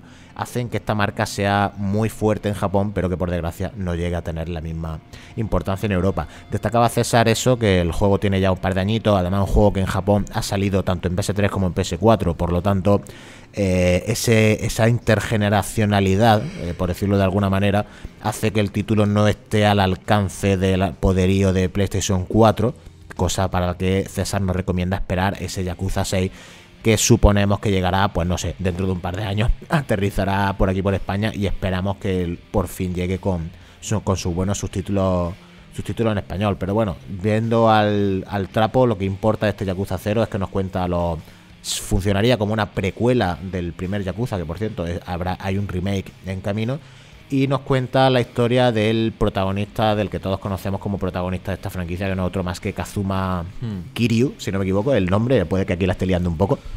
Y nos lleva a finales de los años 80, con lo cual eso también resulta muy atractivo, ¿no? ese viaje nostálgico a, la Japón de los 80, con un montón de lugares, como digo, para explorar, un montón de posibilidades argumentales y esa cantidad de minijuegos que lo hacen súper llamativo y muy completo en cuanto a contenido. El problema, como digo, viene estando en su en la nula localización al español, un juego que está completamente imperdonable. Eh, con, voces en japonés y audio en inglés y que no es un juego nuevo y que por lo tanto, bueno, hay que también tener en consideración de ahí el 83 de César, que podía haber sido más si Yakuza hubiera llegado, pues qué te digo yo, eh, unos meses solo después de que aterrizara en Japón y no dos años después cuando ya hay otros dos juegos de Yakuza a, la vista en territorio japonés. Yo ya estoy entrando en un punto, chicos, en que creo que en España hay muy buena gente traduciendo, muy buena gente siendo actor de doblaje y me gusta que se siga manteniendo nuestro idioma, a pesar de que yo pueda, más o menos, ¿no? Por, por mi trabajo y por mi experiencia, puedo más o menos defenderme en inglés perfectamente y, a lo mejor no me hace falta ni leerlo,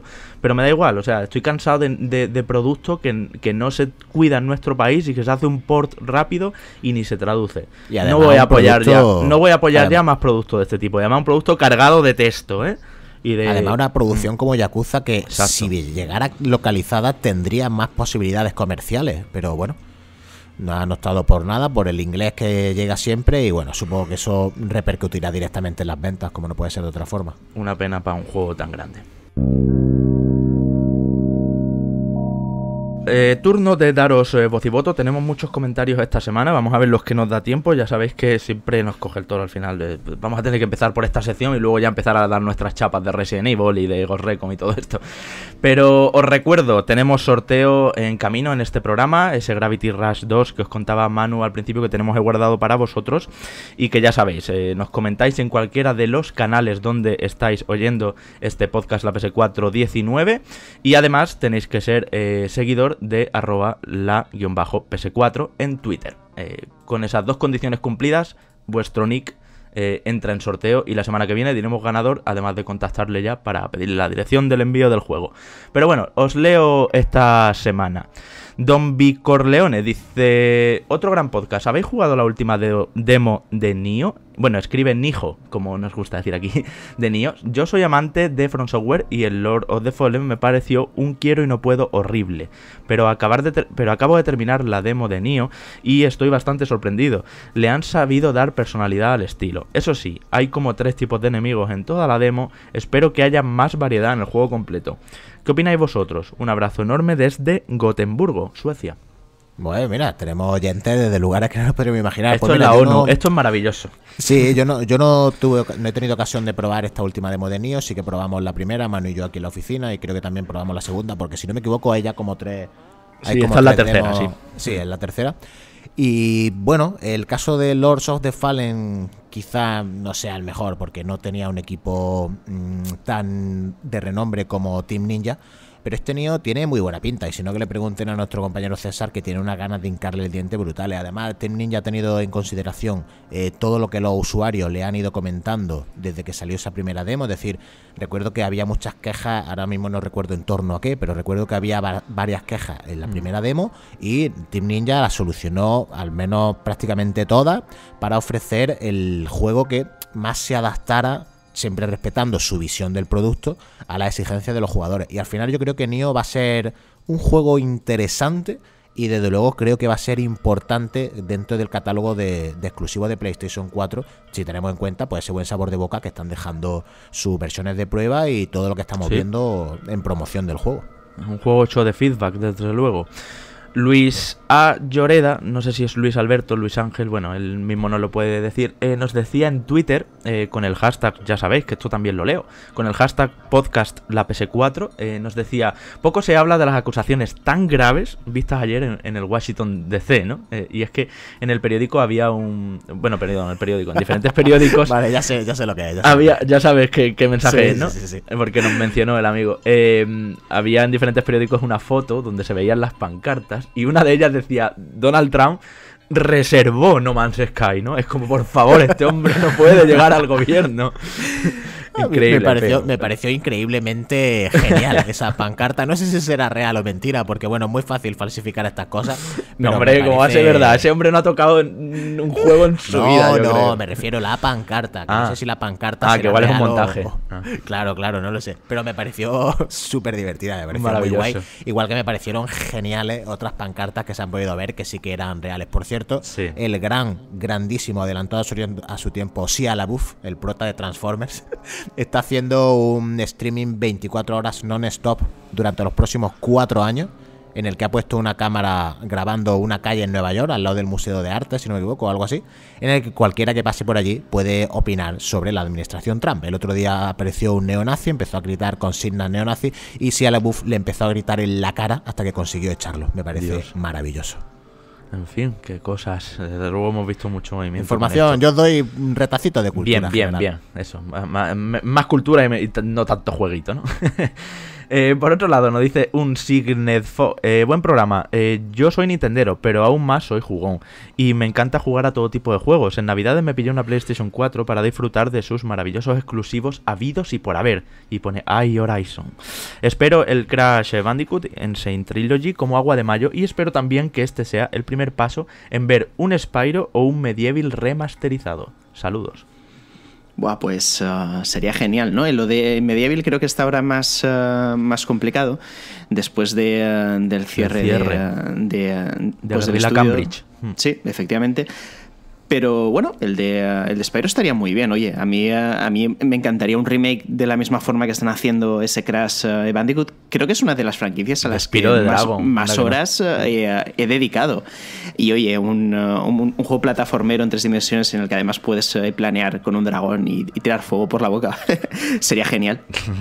Pues mira, Manu, eh, para ti también te dan un poquito de caña aquí, dice Eduardo Ferrer Rollo. Un gran poder conlleva una gran responsabilidad. ¿Te suena, Manuel? Eh, pues bien, como tú tienes el poder de comunicar, no deberías justificar el precio de los videojuegos. Deberías ir en contra. Sabes perfectamente que es caro y nos cobran mucho. Así pues, cierra los ojos, respira hondo, olvídate qué precio tenían los juegos hace 20 años que vendían muchísimo menos y la tecnología era mucho más cara y defiende a tus oyentes diciendo que deberían bajar los precios que son muy caros. La tendencia debería ser siempre DLCs gratis y precio justo de salida. Un saludo a todos. El gran poder que tengo es el de, el de poder decir en. El en de este banearlo, medio-. No, no, no, no, no. El de, el de poder decir aquí en el podcast de la PS4, en, en la web, en redes sociales, mi opinión. En el momento yo tenga que defender la opinión de otros, cogeré, me levantaré de aquí y me iré. Porque al final es mi responsabilidad con para los demás el poder eh, decir mi opinión y defenderla. Por lo demás, es un hecho, es un hecho que los videojuegos son hoy en día mucho más baratos que antes. No digo que, sean baratos de por sí, pero sí que son más baratos que antes. Y simplemente se puede, se puede ver analizando el precio real de un videojuego que no nominal, el precio real fuera de inflación de los videojuegos actualmente con los de hace 20 años, con los de hace 10 años.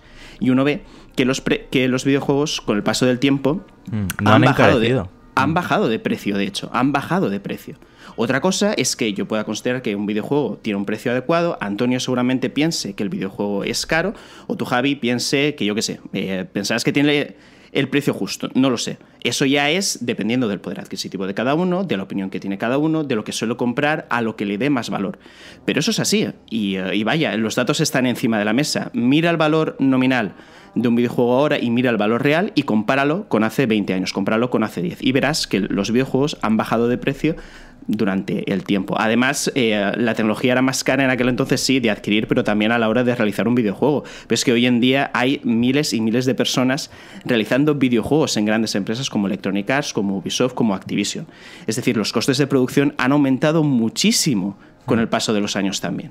Con lo que al final cada uno, pues bueno, si, si une los puntos de este dibujo, ve al final qué es lo que os condena eh, detrás. Yo lo que decía anteriormente, yo personalmente, y ya digo, mi opinión, que es la que defiendo, que es la que digo en el programa, es que eh, el gran problema no es que un, juego cueste 60 euros, el problema es que como con Resident Evil 7 te den los DLCs aparte cuando ya están terminados, que tengas que pagar 30 euros más hmm. por esos DLCs que ya están hechos, que no te lo metan dentro del disco. Pero oye, el precio, pues ya sabéis, es que además están, están bajando de precio a las pocas semanas. Cada uno es libre de, de lanzamiento comprarlos o esperarse dos, tres meses y lo tienen seguramente casi a mitad de precio. Efectivamente, yo estoy totalmente de acuerdo contigo, Manu, y hay un apunte que quería hacer sobre el comentario de este amigo, y es que sí, la tecnología eh, era más cara antes, pero eso no es correcto. La tecnología siempre es cara, ¿no? Eh, antes era cara una consola, eh, por ejemplo, que moviera gráficos poligonales, como fue la primera PlayStation. Eso era tecnología punta en, en 1996 pero hoy en día lo que es tecnología punta, pues es que los juegos vayan a 60 frames y 4K. En todo momento, por ejemplo, hay siempre eh, que lidiar con esos costes. Y como bien dice Manu, yo creo que antiguamente era más barato hacer un juego simplemente porque el equipo de personas que trabajaban en un juego era menor. Claro. Que lo que es hoy, ¿no? Una gran Y los tiempos de desarrollo, Javi. Es decir, GTA V, ¿cuántos años ha tardado en realizarse? Han sido o Red Dead Redemption 2, por ejemplo. Claro, o, Destiny. incluso. Mm. Claro, es que estamos hablando de superproducciones que cuestan millones de euros. Que tiene más de 700 personas ahí trabajando, cobrando un sueldo todos los meses, sí. Los juegos son un producto de lujo, amigos, y... Mm, nos guste o no, aunque aquí seamos todos apasionados, eh, son caros, pero no para lo que son. Nos están dando y, y, un producto... y, y, qué es eso? Que cada uno tendrá su percepción. Es decir, para uno puede ser más caro, para uno barato, para uno puede ser el precio justo. Y justo esa es la ley de la oferta y la demanda. Que mm. cuando el precio del videojuego está en el punto que tú quieres es cuando compras. Por eso cuando el videojuego baja a 40, la mayoría de, nosotros compremos. Y cuando está a 60, solo los que están realmente interesados eh, por él van y lo adquieren. Si es que es así de sencillo. También un comentario al respecto. Bueno, Antonio, no sé si quieres apuntar algo. No, eh, simplemente eh, estoy de acuerdo con lo que dice Manu en que cada uno tiene su opinión, por supuesto, evidentemente cada uno puede pensar que le parecen caros, baratos, etcétera, pero lo que no llego a comprender es que Manu tenga que convertirse en el defensor del pueblo. Nosotros no somos defensores del pueblo, simplemente damos nuestra opinión en las ondas. Y bueno, a quien le parezca bien, pues estará de acuerdo con nosotros, y a quien le parezca mal, pues no estará de acuerdo con nosotros, ya está. Pero de momento no tenemos que defender a nadie, ni somos representantes políticos de nadie. Así que. Ni vamos a conseguir, por mucho que nos quejemos, que bajen el precio de los juegos. Claro, bueno, no lo van a hacer en ningún caso. o sea, que tranquilo, amigo. Eso, totalmente claro. No, lo van a bajar porque yo lo diga, ¿sabes? te, lo, puedo garantizar. Antonio López for President. Quita Trump de ahí, ponte tú. Eh, Javier Díaz Delgado dice: Qué manía con decir que los juegos valen 70 euros. Eh, ¿Acaso es diferente los juegos de game de los juegos de Amazon? Yo los juegos siempre los compro en Amazon. Siempre garantizo el mejor precio. Por ejemplo, Rise of the Tomb Raider me costó 49.95. Es más, Resident Evil lo tengo en reserva y me va a salir por 54 euros. Nunca jamás compré un juego de lanzamiento a 70. Siempre rondan los 55 de media.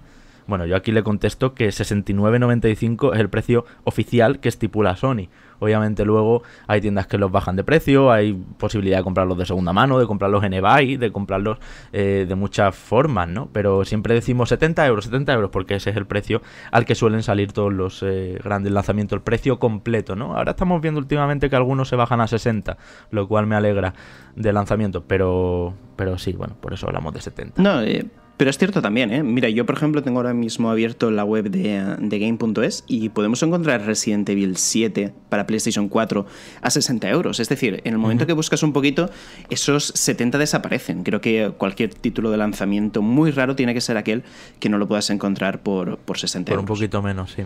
Jorge Sada dice, como se está hablando de la bajada de precio, yo también coincido con vosotros en esperar uno o dos meses.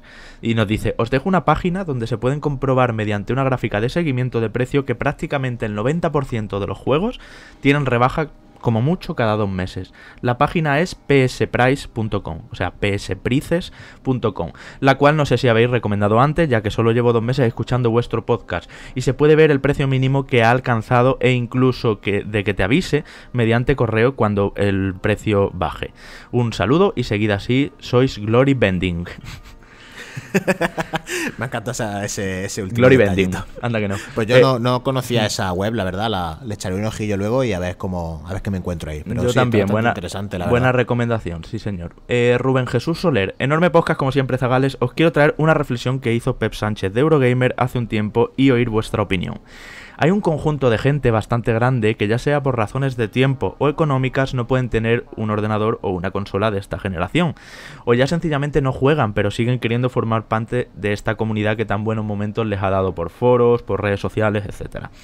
El problema es que entre todos los discursos posibles que pueden adoptar, el del odio es el más fácil de todos. Los juegos no son como antes, los DLCs abusivos, maletines a la prensa, todo online, etcétera, etcétera.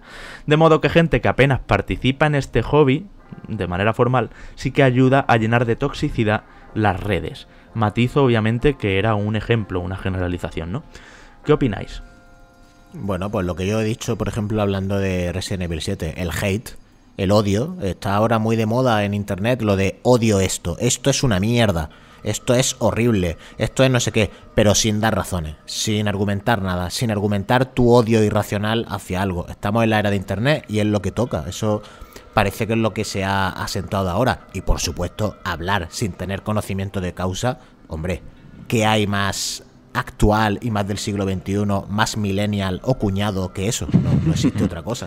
O sea, es, es, la época en la que nos ha tocado vivir, es la de odiarlo todo o amarlo en el extremo.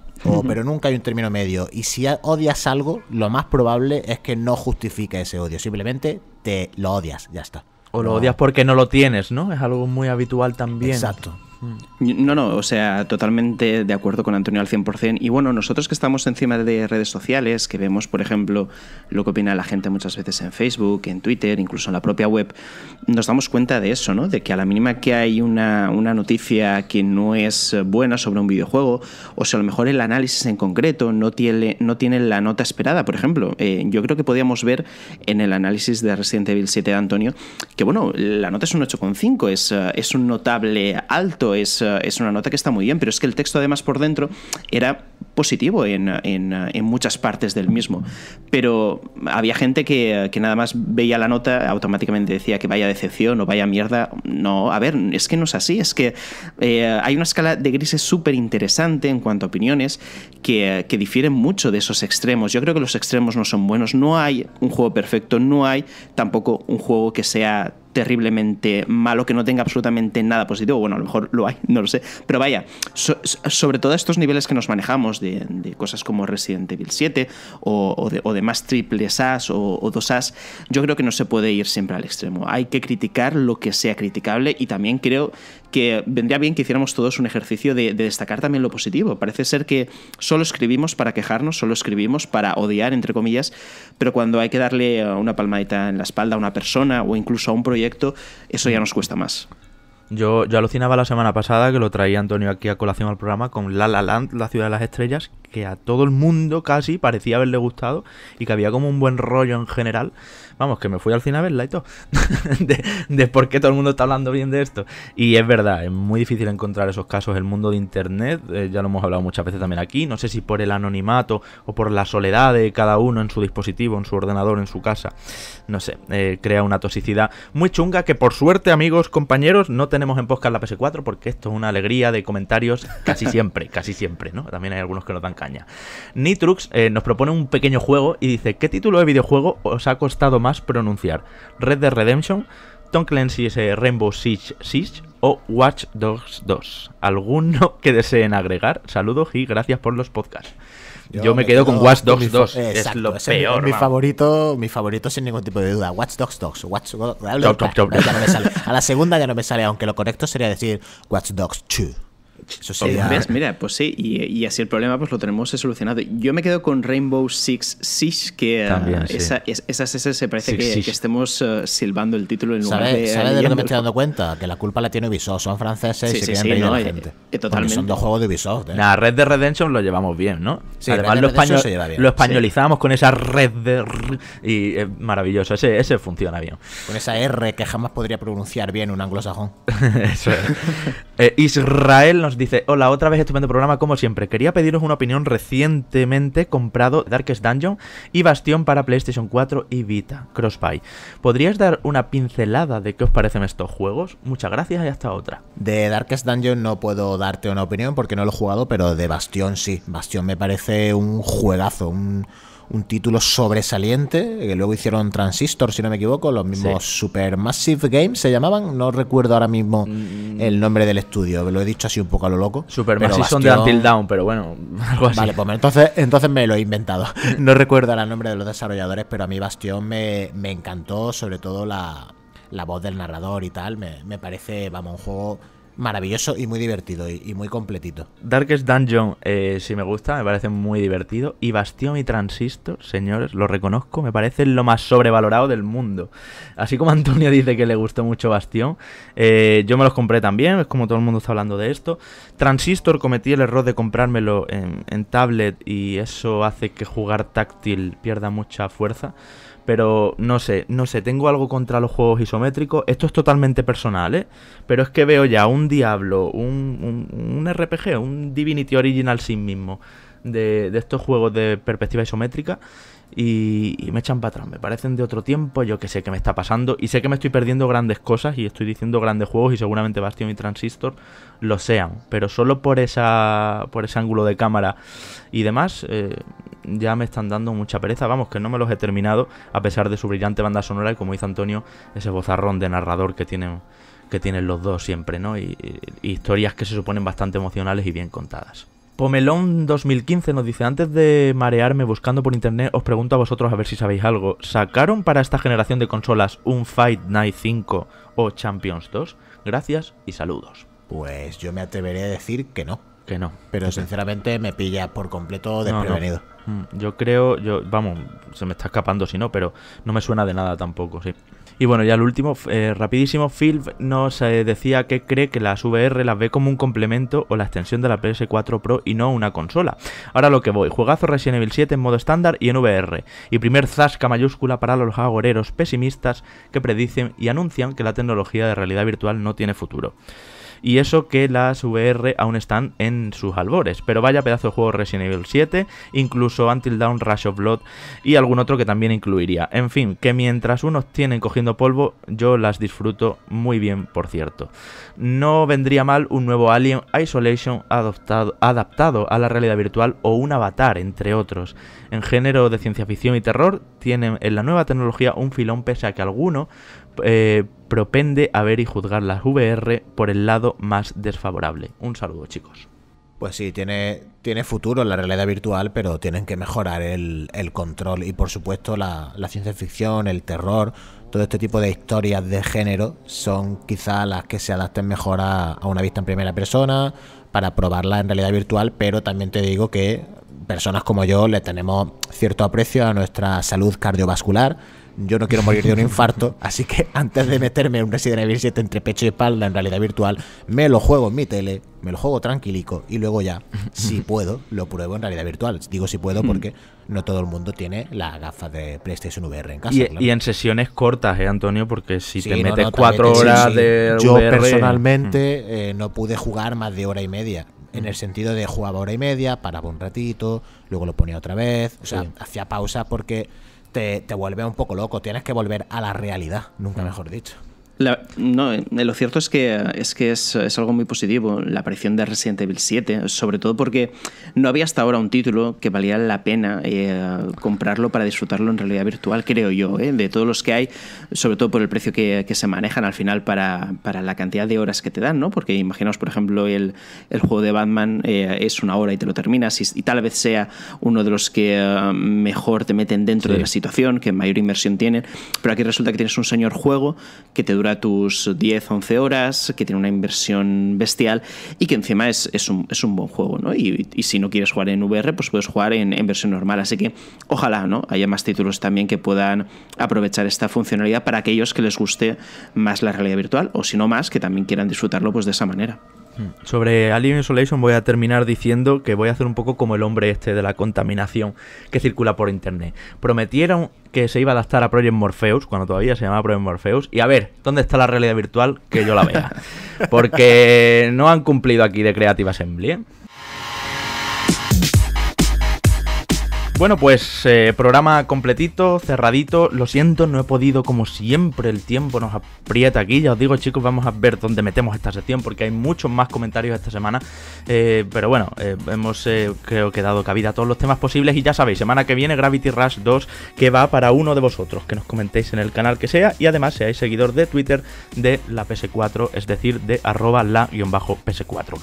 Eh, Manu, mmm, la semana que viene te dejo a ti dar el juego a, a quien le toque, aunque la, bueno, la, la, el sorteo lo haré yo, como siempre, que tengo la aplicación maravillosa, mágica esta, que nos da Nix eh, porque sí, y a veces nos toca mandarlo a sitios eh, totalmente recónditos. Pero bueno, semana que viene, jueves 6 de la tarde, te oigo. A ver quién tiene la suerte de llevarse ese Gravity Rush 2. A ver qué nos depara también eh, esta semana. Está todo un poco parado, ¿no? El, tema del mundo PlayStation por la llegada de, Nintendo Switch. Cosa que también está bien, oye, ¿no? Que cada uno tenga su, espacio de información. Que unos destaquen más durante unos meses, que otros destaquen más durante otros.